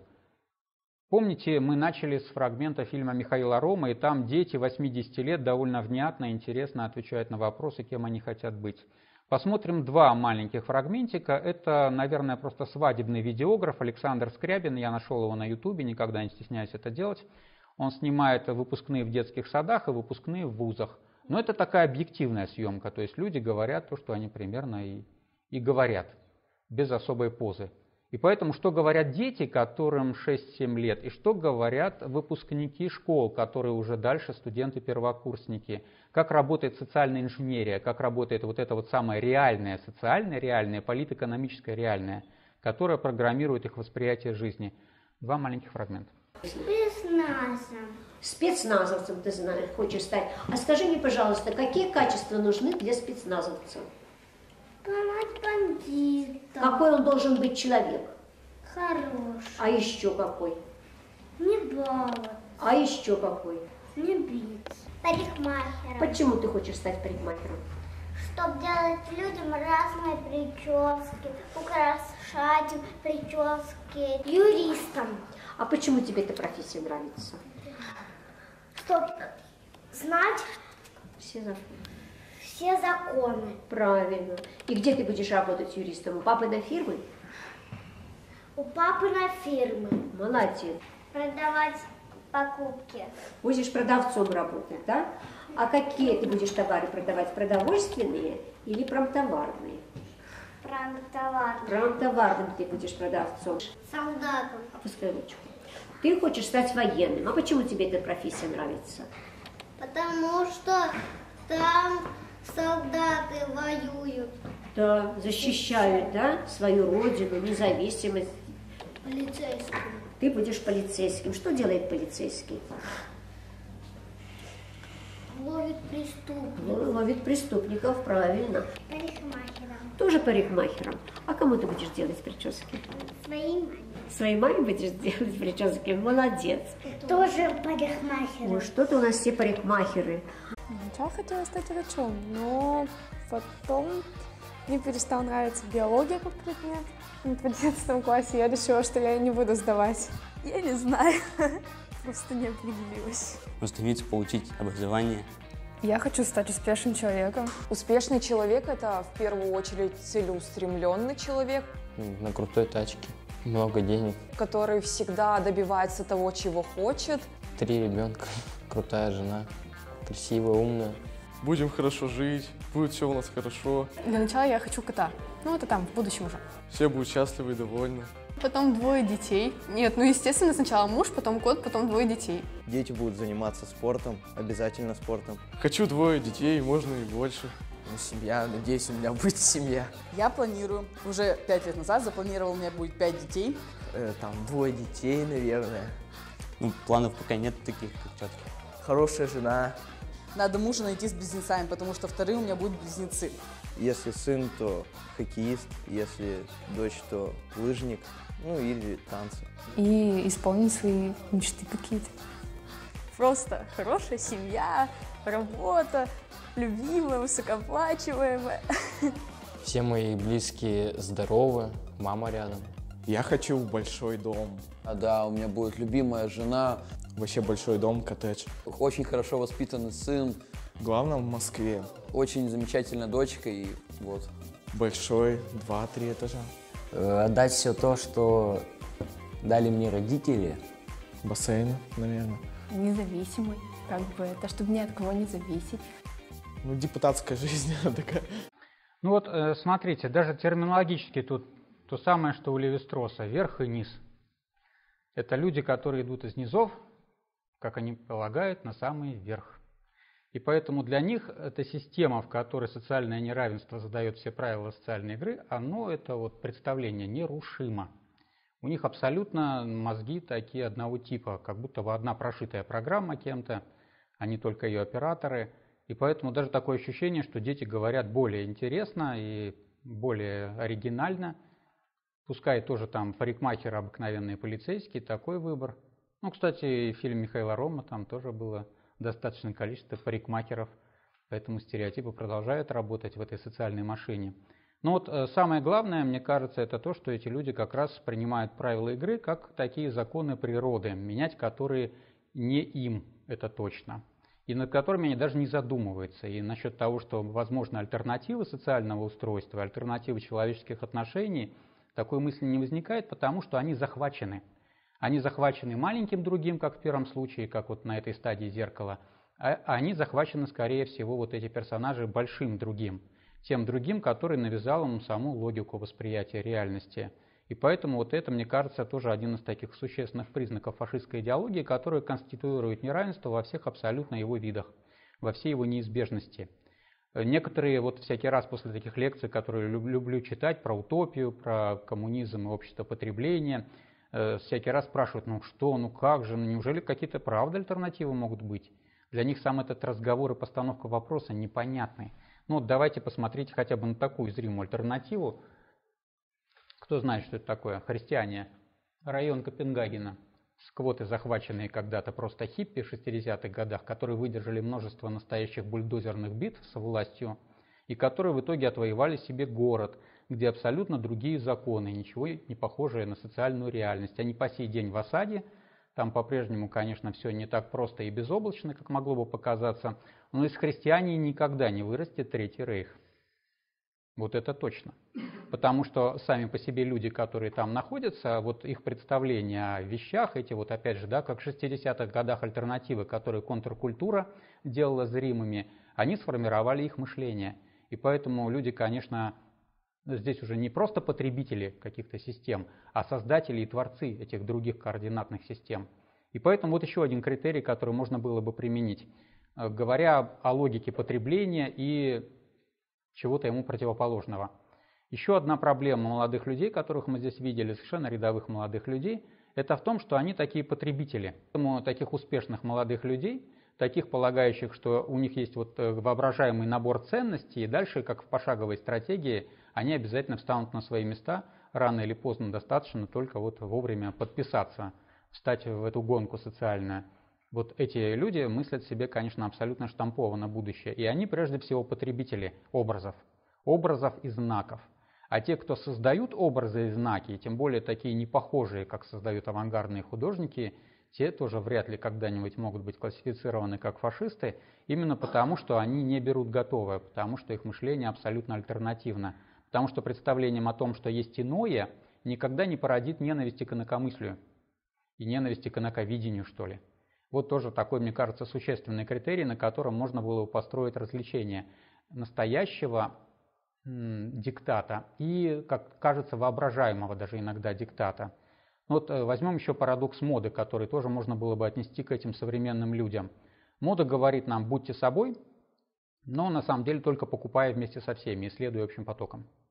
И поэтому главный парадокс моды, что она в духе «я реклама» обращается к нашей индивидуальности и говорит о том, что ты особенный, ты должна любить свое тело, ты ни на кого не похож, найди свой стиль.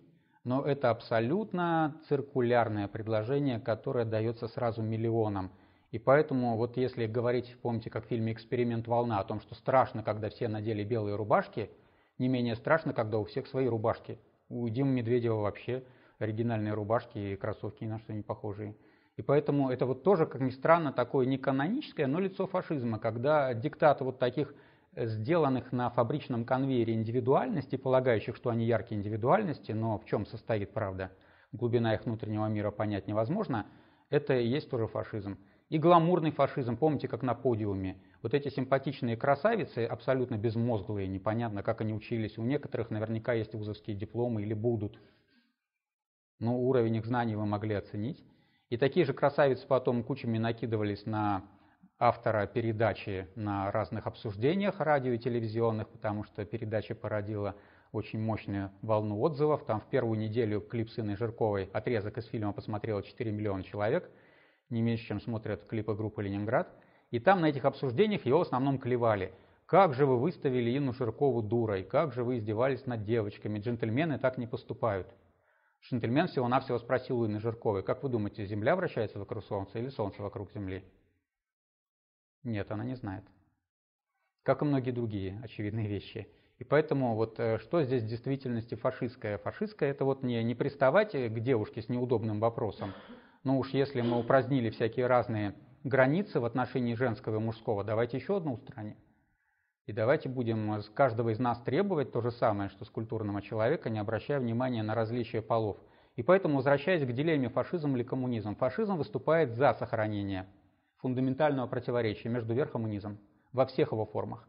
И превращение его да, в такое цивилизованное противоречие, и введение табели о рангов, разных регалий, разных таких разрядов социальных, которые это конституируют и делают на века. А коммунизм, вот э, мне понравилось, как Михаил Трофименков сказал на одной из лекций недавних, что классовая борьба в коммунизме – это скорее борьба за преодоление самих классов, за уничтожение классов как таковых. То есть не класса буржуа уничтожения, а за уничтожение классового общества. И в этом состоит принципиальное отличие. То есть вот в этом, правда, марксовом идеальном определении коммунизма, как общество, в котором достаточно быть любящим бытием, чтобы быть любимым, э, естественно, какой-то творческий потенциал, коммуникативный потенциал, а не просто формула социально-экономических отношений. А поскольку это другое социальное бытие, в нем предыдущие границы должны быть стерты. И сначала, конечно, это выглядит насилием в битве классовых войн, а потом, как в таких утопиях, которые рисовали писатели, философы, коммунисты, э, в духе еще там старых, древних утопий, даже начиная, может быть, с Платона, это должно быть по-настоящему бесконфликтным обществом. Но когда это общество нам рисует в голливудских антиутопиях, еще один мой любимый конек, например, в фильме «Посвященный», может быть, кто-то видит, видел этот фильм. Довольно недавний, 2012 или 2013 года, с Джеффом Бриджесом, очень хороший актер из Большого Лебовски, но там роль у него достаточно плоская. Там общество будущего выглядит как идеальный социализм. То есть там все всем обеспечены, у всех прекрасное образование, жилье, вот все социальные абсолютно, какие только могут быть, привилегии и предложения у них есть. Оказывается, однако, что они видят мир, мир черно-белым. Какой ужас. Как это так? Вот какой-то включили мощный экран идеология и скрыли от них цвета. Ну, еще какой-то пары вещей не хватает. Тоже, видите, такая идеологическая уловка. И вот за то, чтобы видеть мир в цвете или видеть мир черно-белым, это, знаете, смотря в каком фильме смотреть. В фильме «Они живут» Джона Карпентера, наоборот, настоящий мир черно-белый. Когда ты видишь очки, вот эти вот, через которые видны инопланетяне, через очки смотришь, что мир становится черно-белым, но правильным, он такой и есть. Такая чистая структура этого мира становится перед тобой. И поэтому неважно, там цветной он или черно-белый, если в этом мире такие-то цвета или какой-то цвет стерт. Кстати, восприятие цветов, мы знаем, это тоже культурная привычка. Не все различают именно эти цвета радуги, и тем более именно так, как принято. И поэтому вот эта вот метафора того, что идеология что-то выключает, стирает. И когда в конце этого фильма разрушается эта система социальная с пафосом и с радостью, наконец-то мы сможем ездить на санках, наконец-то мы увидим мир в семи цветах. Ну, одновременно давайте вспомним, что там разрушается и социальная вся структура, и бесплатная медицина, образование, жилье, здравоохранение и прочее по списку. Ради радости, там, скажем, есть жареную пищу, как в фильме «Разрушитель», и прочих мелких удовольствий. И поэтому, когда альтернатива рисуется, видите, изнутри координат заданных, то даже правильное идиллическое общество все равно будет таким вот не честным, каким-то кривым. Что-то оно такое в себе, маленький секрет неправильный скрывает это общество. Но скорее я бы говорил о маленьком секрете непристойном капитализма. Возвращаясь все-таки, наконец, на последний момент лекции, давайте сохраним интеллектуальные силы, к самому важному материалу. Ну вот, э, к тому, что мы назвали в нашей системе реальным реального – Реальное воображаемое, реальное символическое, как мы видели, это вроде бы та же самая солянка, но через которую проступает какая-то объективная необходимость, как, скажем, вот это социально-классовая или просто необходимость развлечения людей по цвету кожи, по уровню развития и прочее. Когда мы видим вот эту вот неизбежность разделительных линий, то мы, скорее всего, находимся внутри фашистского миросозерцания. Когда мы полагаем, что мир может быть другим, как полагают жители христиане и разные другие альтернативщики и контркультурщики, мы находимся в другом спектре. Ну а что такое реальное-реальное? Самое интересное. Ну, цитата из э, словоя нашего Жижика. Здесь он говорит в книге «Чума фантазии». Это, на мой взгляд, вообще самая классная книга Жижика, которая издана на русском языке. Я принес просто, чтобы показать. Травмирующее реальное – это то, что мешает нам придерживаться нейтрально-объективного взгляда на реальность. Ну вот на этом моменте давайте остановимся чуть поподробнее. Тут тоже такой смысловой акцент в лекции нужно поставить. То есть реальное – это не только само противоречие, да, что мы выяснили из первого. Вот это вот какая-то внутренняя не несходимость, неравенство, так, такое вот обязательное развлечение людей, именно травмирующее развлечение, когда одни вверх, а другие низ – Одни справа, а другие слева. А реальное, дальше, дальше говорит Жижик, это некое пятно на восприятии, которое мешает нам осознать вот это вот происходящее. Это такая удвоенная реальность, поэтому у меня в схеме реальное-реальное. Это травма в отношении к реальности, но еще и травма восприятия реальности. Ну, поясним примером из того же Жижика. когда люди, попадая из концлагерей обратно в мирную жизнь, пытались десятилетиями рассказать об ужасе, который они там пережили, первое время они встречали какое-то минимальное понимание, а потом это стали воспринимать, как, знаете, на ток-шоу. Тема для, для того, чтобы поговорить о чем-то. А потом просто какая-то стена возникла. И поэтому вот есть такая невозможность понимания, которая превращается во второй ужас по отношению к первому ужасу, который ты пережил реально. Это есть удвоенное реальное. То есть сначала ты переживаешь как таковую, травмирующую социальную неизбежность, например, прорваться, пытаясь все время из этого низа в этот самый верх, а потом ты оказываешься перед второй неизбежностью или сразу оказываешься в этой неизбежности, как молодые люди, которые не понимают, что верх и низ это не фатально, и что вообще, наверное, нет таких людей верха и людей низа, и которые даже не могут объяснить, в чем состоит травма этого их первого опыта, и которые не понимают, да, в чем на самом деле состоит какое-то авторство картины мира и на самом деле в чем стоят рецепты этой проблемы. И поэтому травма удвоена. Невозможно иногда это травматическое знание передать другому, невозможность получить от него понимание. Невозможно, как говорил Морфеус, объяснить, что такое матрица. Это нужно увидеть. Но это нужно увидеть, помните, когда ты принял пилюлю, когда тебя как следует торкнуло, когда ты оказался в такой уже по-настоящему, как у Сартра, тошноте, и когда тебя буквально вырывает после того, как ты в этой оказался травме, и поэтому поди-ка ты еще расскажи кому-нибудь об этой травме. А потом, скорее всего, если даже будешь рассказывать, то вот как этот цайфер с мечтой вернуться обратно в мир иллюзии, ну к черту такую реальность. И поэтому вот эта пустыня реальности, она тоже, если подумать, двойная. Это пустыня реальности самой по себе, вот эта вот социальная система существующих противоречий, которую никто не хочет отменять. И это еще система понятийных таких сдержек и пятен, которые мешают нам осознать проблемы настоящие, которые сводят все опять же к проблеме паразитов, например, и производителей, которые сводят там к Западу и Востоку, например, эти противоречия. Вот возьмем эту псевдонауку, геополитику, которая тоже маркирует серьезные фундаментальные противоречия почти в географическую терминологию. И поэтому таких левых схем, которые переделывают настоящую проблему и перевирают сам принцип устроения матрицы, довольно много – так что реальное-реальное – это вот такая двойная травма. Это такой прорыв, не только прорыв в реальность, но и прорыв понимания этой реальности. Ну, вот так это можно объяснить. Ну вот дальше примерно о том же самом говорит Славой Жижик, о том, что, конечно же, мы фатально находимся в ситуации, когда мы должны принимать одну из сторон, тем более, если Жижик снова с красным флагом, посмотрите, с серпом, молотом и звездой, и находимся, находится в определенной части политического спектра – и поэтому такой объективной, конечно, реальности нет, он тоже является одним из операторов смещения. Но это, к сожалению, кантовский парадокс. То есть, в принципе, на человеке зеленые очки, да, как можно просто интерпретировать. Ну, на мне красные очки, и у Славы Жижика красные очки. У кого-то черные, коричневые очки. И поэтому, по крайней мере, ты должен понимать, какие очки ты носишь и ради чего ты их носишь. И собираешься ли ты просто это противоречие использовать для своих собственных интересов, для того, чтобы снова дурачков, каких-то стажеров, выпустившихся из университета, брать за полцены, использовать, эксплуатировать и выбрасывать обратно на улицу.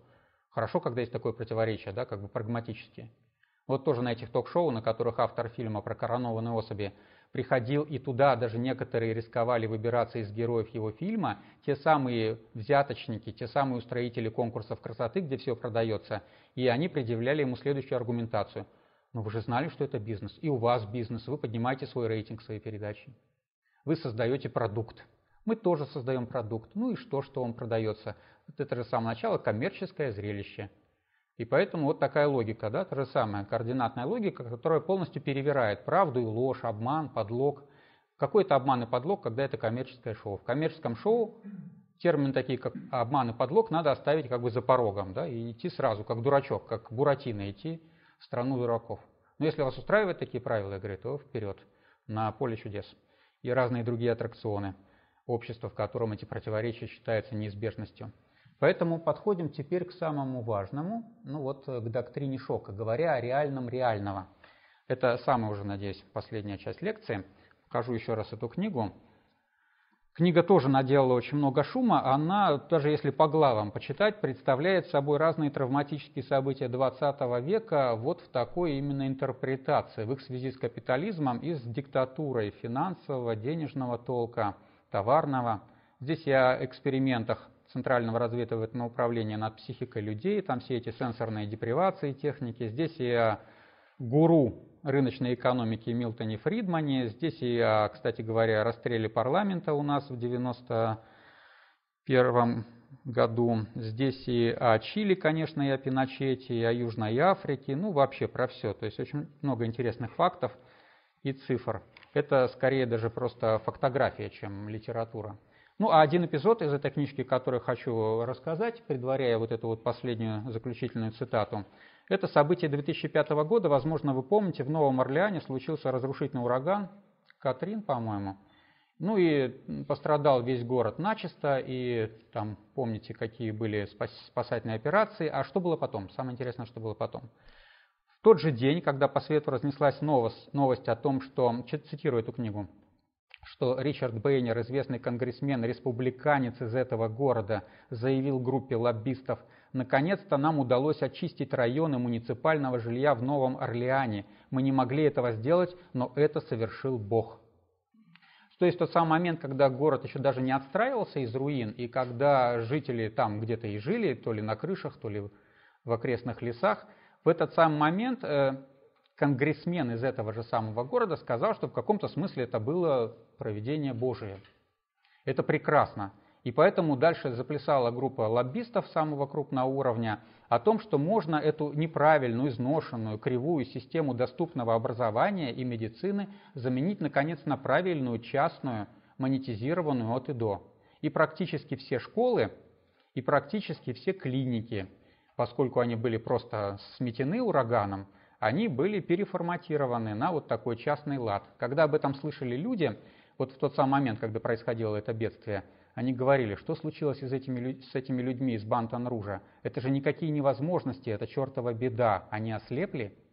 Но э, тот самый гуру рыночной экономики Фридман писал о том же и Новом Орлеане. В Новом Орлеане разрушено большинство школьных зданий, как и жилищ детей, обучающихся в этих школах. Теперь эти дети разбросаны по всей стране. Это трагедия. Но это также и новая возможность для радикальной перестройки системы образования. Вот в этом и состоит суть капитализма катастрофы, доктрины шока. Главная мысль Наоми Кляйн в этой книге – это о том, что капитализм всегда функционирует как шоковая терапия в разных смыслах. Как экономическая шоковая терапия, вспомним нашего каннибала министра Гайдара – как экономическая диктатура, как политическая диктатура, ну как конкретно Пиночет и Чили. И поэтому вот здесь множество глав посвящены разным как раз феноменам фундаментальной связи, причем, знаете, даже такой персонализированной связи, потому что Фридман консультировал и Пиночета, и правительство Ельцина. И, и разные другие как раз консультации примерно в таком же духе давал. Поэтому вот что такое в этом смысле капитализм и реальный капитализма? Это правда как в матрице. Помните, чистая функциональность. Помните, как устроена матрица, объясняет Морфеус? Это когда живые, ну еще живые, умершие, да, лучше сказать, перемалываются в питательный раствор, и им питаются младенцы. То есть это такая ресайклинг, абсолютно циклическая экономика. Там все идет в дело там ничего не пропадает, там все функционально. И поэтому безжалостная механичность матрицы – это главное шокирующее открытие, собственно говоря, для Нео. Это вот положение человека батарейки. И поэтому, когда мы превращаемся просто в функцию, в контрагента, в человека-час, в такое средство чьего-либо успеха, потребления, мы являемся агентами капитализма. Еще хуже, когда мы принимаем эту логику тоже как такую неизбежность. И снова получается тогда, обратите внимание, что это есть вот такое экономическое реальное капитализма, реальное-реальное. Здесь не, нет уже проблем никаких с добром и злом, справедливостью, несправедливостью, с классами. Есть, помните, вот эта вот известная метафора капитализма как машины. Дайте Атланту расправить плечи, дайте ему как следует свои шестереночки смазать, и вот он заработает, всех накормит и напоит, все устроит как надо – Правда, опять-таки, история 20 века никак этот тезис не подтверждает, потому что, ну как так, Франко в Испании, Пиночет в Чили, у нас вот эта жуткая история 90-х годов, не будем ее вспоминать к вечеру и к ночи. И поэтому все это как раз не, не история о чистом капитализме, который идеально саморегулирует свой ход и настраивает как нужно и общество, и образование – я не случайно привел сегодня два целых фрагмента из фильма про образование. Так устроено образование, как видите, чистая капиталистическая предпринимательская инициатива на всех уровнях. То есть, когда там, начиная со старших преподавателей, потом деканов и ректоров, проректоров, все включены в функционал добывания денег, и опять-таки, да, не нужны ни классы, ни студенты, там во многих частях этого фильма просто показываются пустые аудитории, студентов нет. Расписание есть и часы есть, а студентов нет. Они приходят только, как я и сказал, на пятом курсе в конце, сразу за дипломами. А зачем нужны люди? А люди только мешают машине. Идеальной машине люди только обуза. И поэтому капитал функционирует, правда, как этот ночной сторож, как абсолютная машина-агрегат, и он кому-то может показаться захватывающим своей такой эффективностью и функциональностью, мне он кажется абсолютно бесчеловечным, фантастически, конечно, негуманным, именно потому, что человеческая проблема тут вообще не включена ни, ни в каком виде. Потому что человек здесь не находится в статусе даже человека, он всегда только какая-то функциональность для этой машины. Поэтому таково травмирующее меня лично реальное, осознавать которое и видеть которое для меня практически невыносимо. И это вот снова удвоенность у меня восприятия реального. С одной стороны, безжалостный агрегат, который перемалывает и тебя, и другого, и всю систему образования, и всю медицину. А с другой стороны, когда ты говоришь жертвами системы образования, современными студентами, молодыми людьми, которые и рады тому, что они заплатили, или просто получили диплом без знаний, и дальше идут с этим дипломом, как они полагают, в счастливую жизнь, за квартирой, помните, за успешностью и за карьерой. Но это вот еще вторая травма, что человек не понимает, что он использован на положении батарейки. Человек не понимает, что он всего-навсего находится в матрице, что вся его жизнь – это вот такое кормление этого агрегата.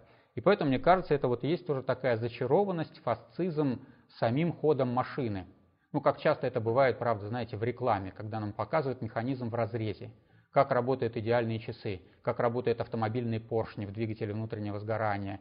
И мы наблюдаем, как это замечательно, когда все устроено. Помните тоже метафора из Михаила Рома, небоскребы, и тут же нищета.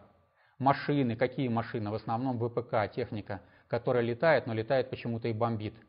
И, и тут же те, на кого летят эти бомбы. Это вот тоже, конечно, совершенно очевидная метафора нашего социального устройства. И поэтому здесь вот эта зачарованность машиной, она не должна элиминировать тот факт, что машина это антигуманна. И не должна, конечно же, вот эта вот просто эстетика каких-то там глянцевых гламурных обложек или сияющих чистыми помытыми стеклами небоскребов, не должна эта эстетика, это вот, вот символическая и воображаемая, которая скрывает от нас реальное, не должна, конечно, все-таки скрывать очевидность, очевидности, которой я сегодня рассказываю. Ну, э, заключая теперь уже всю лекцию целиком, старался за полтора часа, но тема была большая, это у меня не получилось. Я не хочу все-таки превратить ее в образец такого идеологического внушения. Я еще раз э, повторю, что лекция написана и прочитана с позиции неомарксизма, и, разумеется, эта парадигма предопределяет в каком-то смысле результат и не может не предопределять, как у каждого из нас эти невидимые очки, в которых он мыслит – но давайте будем пробовать разные очки, по крайней мере, снимать их и надевать, и пробовать принимать разного цвета пилюли, как в «Матрице», и поэтому хотя бы что-то другое, кроме Айн Рэнд, надо читать для молодого поколения. А я люблю проводить такие анкеты на первом курсе. 10 любимых книг, 10 любимых фильмов. И все время встречаю «Атлант расправил плечи». Это меня ужасает. Это какой-то аусвайс, понимаете, который человек носит тоже в собственном кармане, как удостоверение своей личности. И тут же какая-то эклектика. Рядом с этим атлантом может быть, например, пролетая над гнездом кукушки. Я не, не постигаю эту связь. Я не понимаю, как человек может любить две книги эти одновременно и читать их, и понимать. И поэтому здесь тоже, видите, как в сфере символического полный хаос. Давайте наведем порядок в наших мозгах, давайте будем больше читать, не превращаться в э, таких вот героев, как с конкурсов красоты. Ну, впрочем, и в этих жертвах образования, внутри которого мы все находимся, в этом стоит позитивный пафос лекции, в котором, в общем-то, не так много было хорошего. А, вопрос по поводу того, что вы все время апеллируете к какому-то гуманизму, да, то есть вы говорите, вот машина антигуманна, гуманизм, а как вы можете апеллировать к тому, чего нет по сути? То есть к образу человека, который распался, которого нужно пересобрать, для того, чтобы его пересобрать, нужно ну, изобрести машину времени, наверное, да, и там, путешествовать куда-нибудь до изобретения медиа. И каким образом можно апеллировать к тому, чего нет? Вот, в общем, такой вопрос. А замечание по поводу, э, по поводу того, что вы вот как бы насмешливо относитесь к этому невежеству, да, молодых людей. Возможно, с этим можно согласиться, но здесь я усматриваю также возможность к такому виду фашизма, как ну, португальский фашизм, например, Салазара, да, то есть э, диктатура такой профессуры, которая как бы знает, как, э, знает, как надо, да, и все остальные вот как бы пусть исполняют какие-то э, указания этой профессуры, да, потому что профессура насчитанная и как бы все понятно, да. Э, вот такое замечание. Ну, я же говорил в самом начале лекции, что фашизма может быть много подопределений. И поэтому вот всякий раз, когда ты в интернете начинаешь с кем-нибудь полемизировать, и я вот сейчас, например, на сайте проект 1917 «Свободная история», все время меня возмущают какие-то реплики. Там один монархист буйный, помешанный, другой фашист настоящий, который, комментируя события истории 17 года, пишет, что всего-то и надо было послать к ним э, ребят с револьверами, ну, к этим там левакам, например, да, или эсерам. Всего-то и надо было спровоцировать толпу на еврейские погромы, показать на них. Я говорю, дорогой мой, ты же фашист. У тебя терминология фашистская, у тебя методы фашистские. Он обижается, говорит, что фашист это я, потому что я не соглашаюсь с его мнением, я, я выступаю да, против свободы слова, правильно. Вот это вот та самая история, да, то есть фашизм профессуры – ну, давайте назовем это фашизм профессуры. Но мы с вами очень далеко зайдем в таких, понимаете, некорректных и вкусовых определениях фашизма. Вот всякое тогда насилие, а ведь роль насилия в культуре, она многообразна. Дорида говорит о насилии буквы. У Жижика, опять же, есть целая большая книга про насилие. Уже для того, чтобы своим телом владеть, уже нужно насилие над ним. Чтобы прямо ходить, нужно насилие. Чтобы говорить, нужно насилие над своей гортанью, а говорить по-русски правильно – насилие над чё кого. И поэтому естественно, что вот это насилие, в том числе и профессуры, вы можете считать фашистским или определять его похожим на португальский вариант фашизма. Для меня это передержки, передергивания такие очевидные и даже шулерство настоящее. Поэтому тематика лекции, видите, была от поверхности к глубине – вот от этой неразберихи, которая есть в сфере символического, где мы все можем с удовольствием переклеить друг другу ярлык фашиста по любому удобному поводу. Как это происходит в интернете, на любую тему. Каждый из нас в этом смысле может быть маркирован как фашист. Но если мы там и останемся на уровне символической неразберихи, то естественно, что проблема будет глубоко не решена.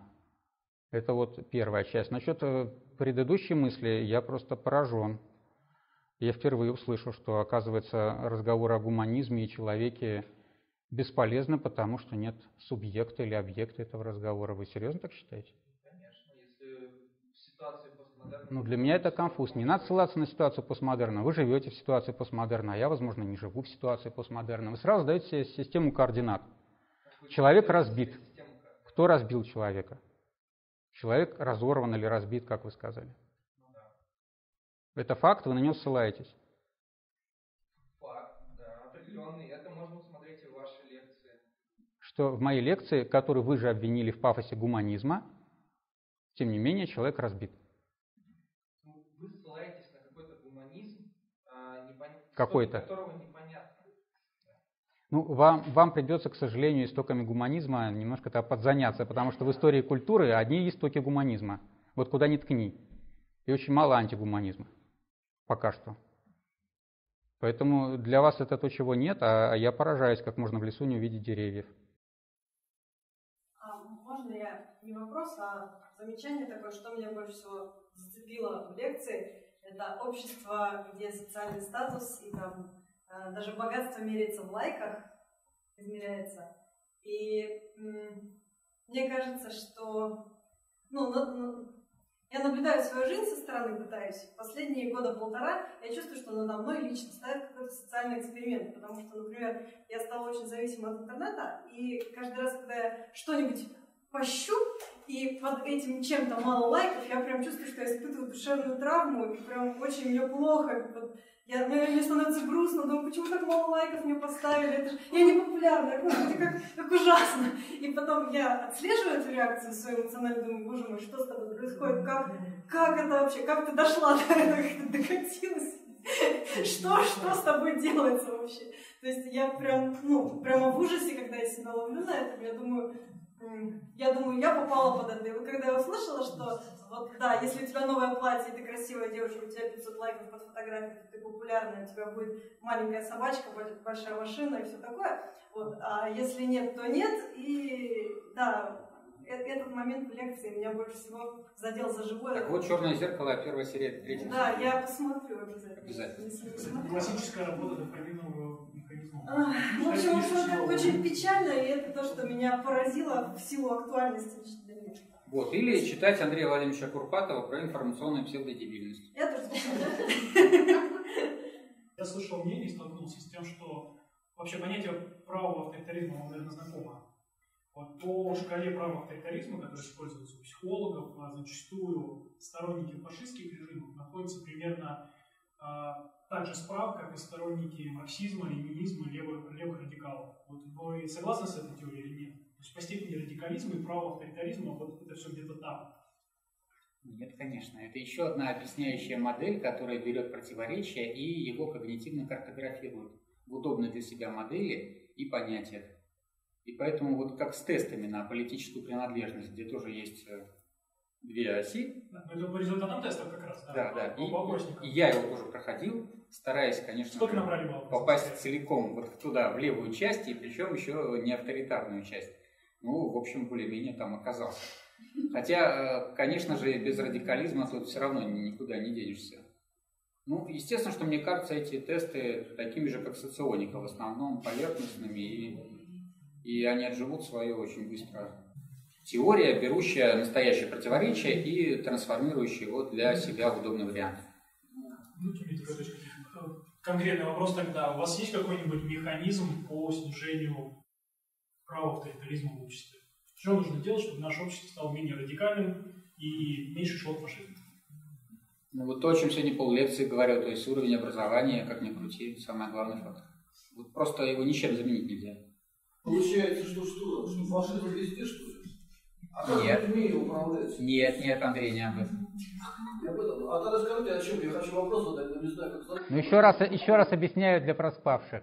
Фашизм – это система, которая принимает противоречия социальное, экономическое, культурное, например, статусное, классовое, как данность, и ничего не собирается с этим делать. Когда мы полагаем, что люди всегда будут неравны, что нас всегда ожидает отношения рабства и господства, конкуренции, эксплуатации, мы находимся в части вот такого правого политического сегмента. И это близко к фашизму. Я полагаю, что может быть другое общество и другой человек и другие отношения вне вот такой матрицы рабства и господства, вне отношений хозяин-господин. И вы привели пример вот этого Копенгагенского района, который да. хиппи. Но ведь эти хиппи вино не производят, хлеб не производят. Нет, они производят, там много всяких лавочек, которые всякие, как обычно, сувениры для туристов делают, разные штуковины. Они даже выкупили свой город, ведь в итоге муниципалитет отступил именно потому, что жителям христиане удалось и выкупить жилища, и еще платить коммунальные расходы. Вот за счет того, что все-таки там есть экономика. Это нуждается в изучении этот вопрос. Изучите. Что, смотрите, вы вашу, вашу систему привели, подменив некую ритуальную путаницу, которая у нас есть, своей некой путаницей. Вообще, что такое фашизм? Никакого фашизма нет, это просто термин. Чтобы объяснить систему управления в Германии, надо вот такую монографию. Система управления во время Муссолини тоже другую монографию, другой фашизм. В Испании третий фашизм. Ваш фашизм это что-то четвертое. Принятие неких условий, это есть. Ну, Вячеслав, а вот мы собрали здесь 30 человек, но мы все купили билет, как любители философии, а придут анархисты, хиппи из Копенгагена, хулиганы, алкоголики и курильщики. Как вы будете управлять? Нужны какие-то люди, которые будут им управлять. И вы это назовете фашизмом? Нет, это большая интересная тема, про нее была речь в лекции «Утопия, антиутопия, анти-антиутопия». И вообще у меня был целый курс когда-то в ВУЗе «Философия коммунизма».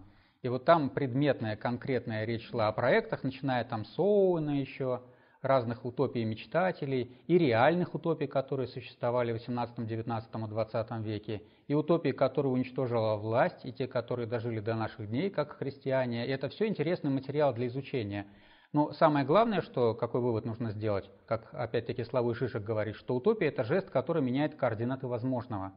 Утопия – это, да, топос где-то, на расстоянии, может быть во времени, может быть в пространстве, но это абсолютно необходимый топос, как такой полюс, для которого имея который ты можешь представить себе вот и здесь находящееся с другой точки зрения, представить себе не безальтернативность этого социального устройства.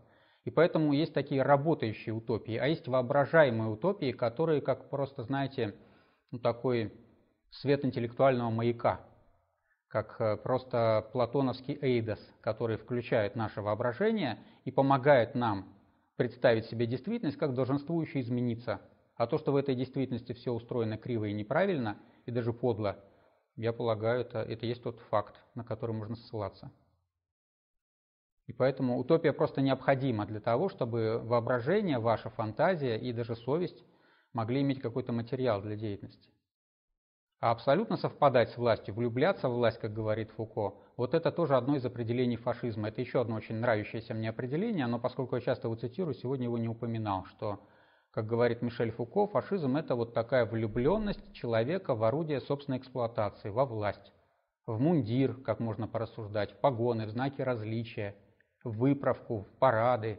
И все это вот тоже такие моменты влюбленности в власть как таковую, в причастность к власти. Вот когда у нас есть это раболепие внутреннее перед властью, не просто страх наказания, но такое блаженное просто счастье быть рядом с представителем, носителем этой фасции – власти, это тоже близко к фашизму.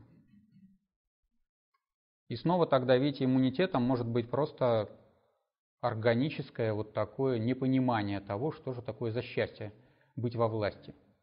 Что за чудо такое.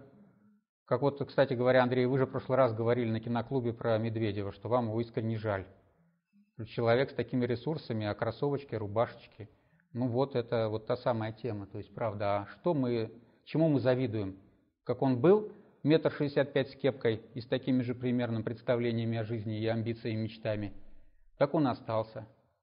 Если вообразить себе такую гегелевскую власть, это вот расширение субъективности до абсолютного духа, и рядом с этим, правда, возможности по добыче кроссовок и постройке дворцов, то, конечно же, эта власть просто заслуживает сожаления.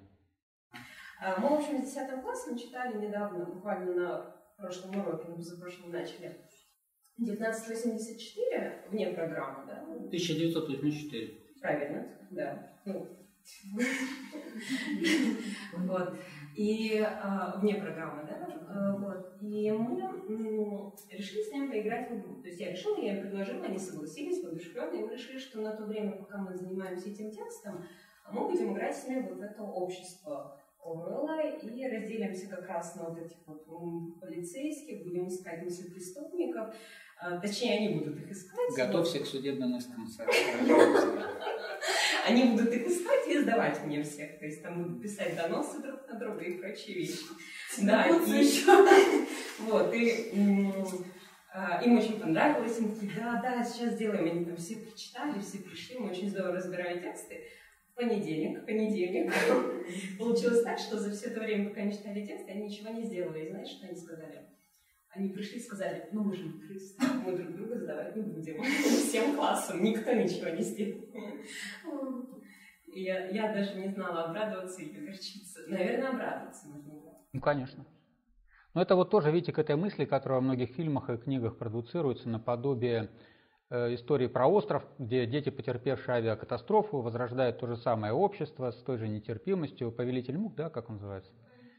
Да, и это вот таких очень много историй про то, что есть какой-то социальный геном, и неважно где, в космосе или в будущем времени он обязательно проступит. Ну вот пример, который Анита привела, показывает, что это тоже мифология.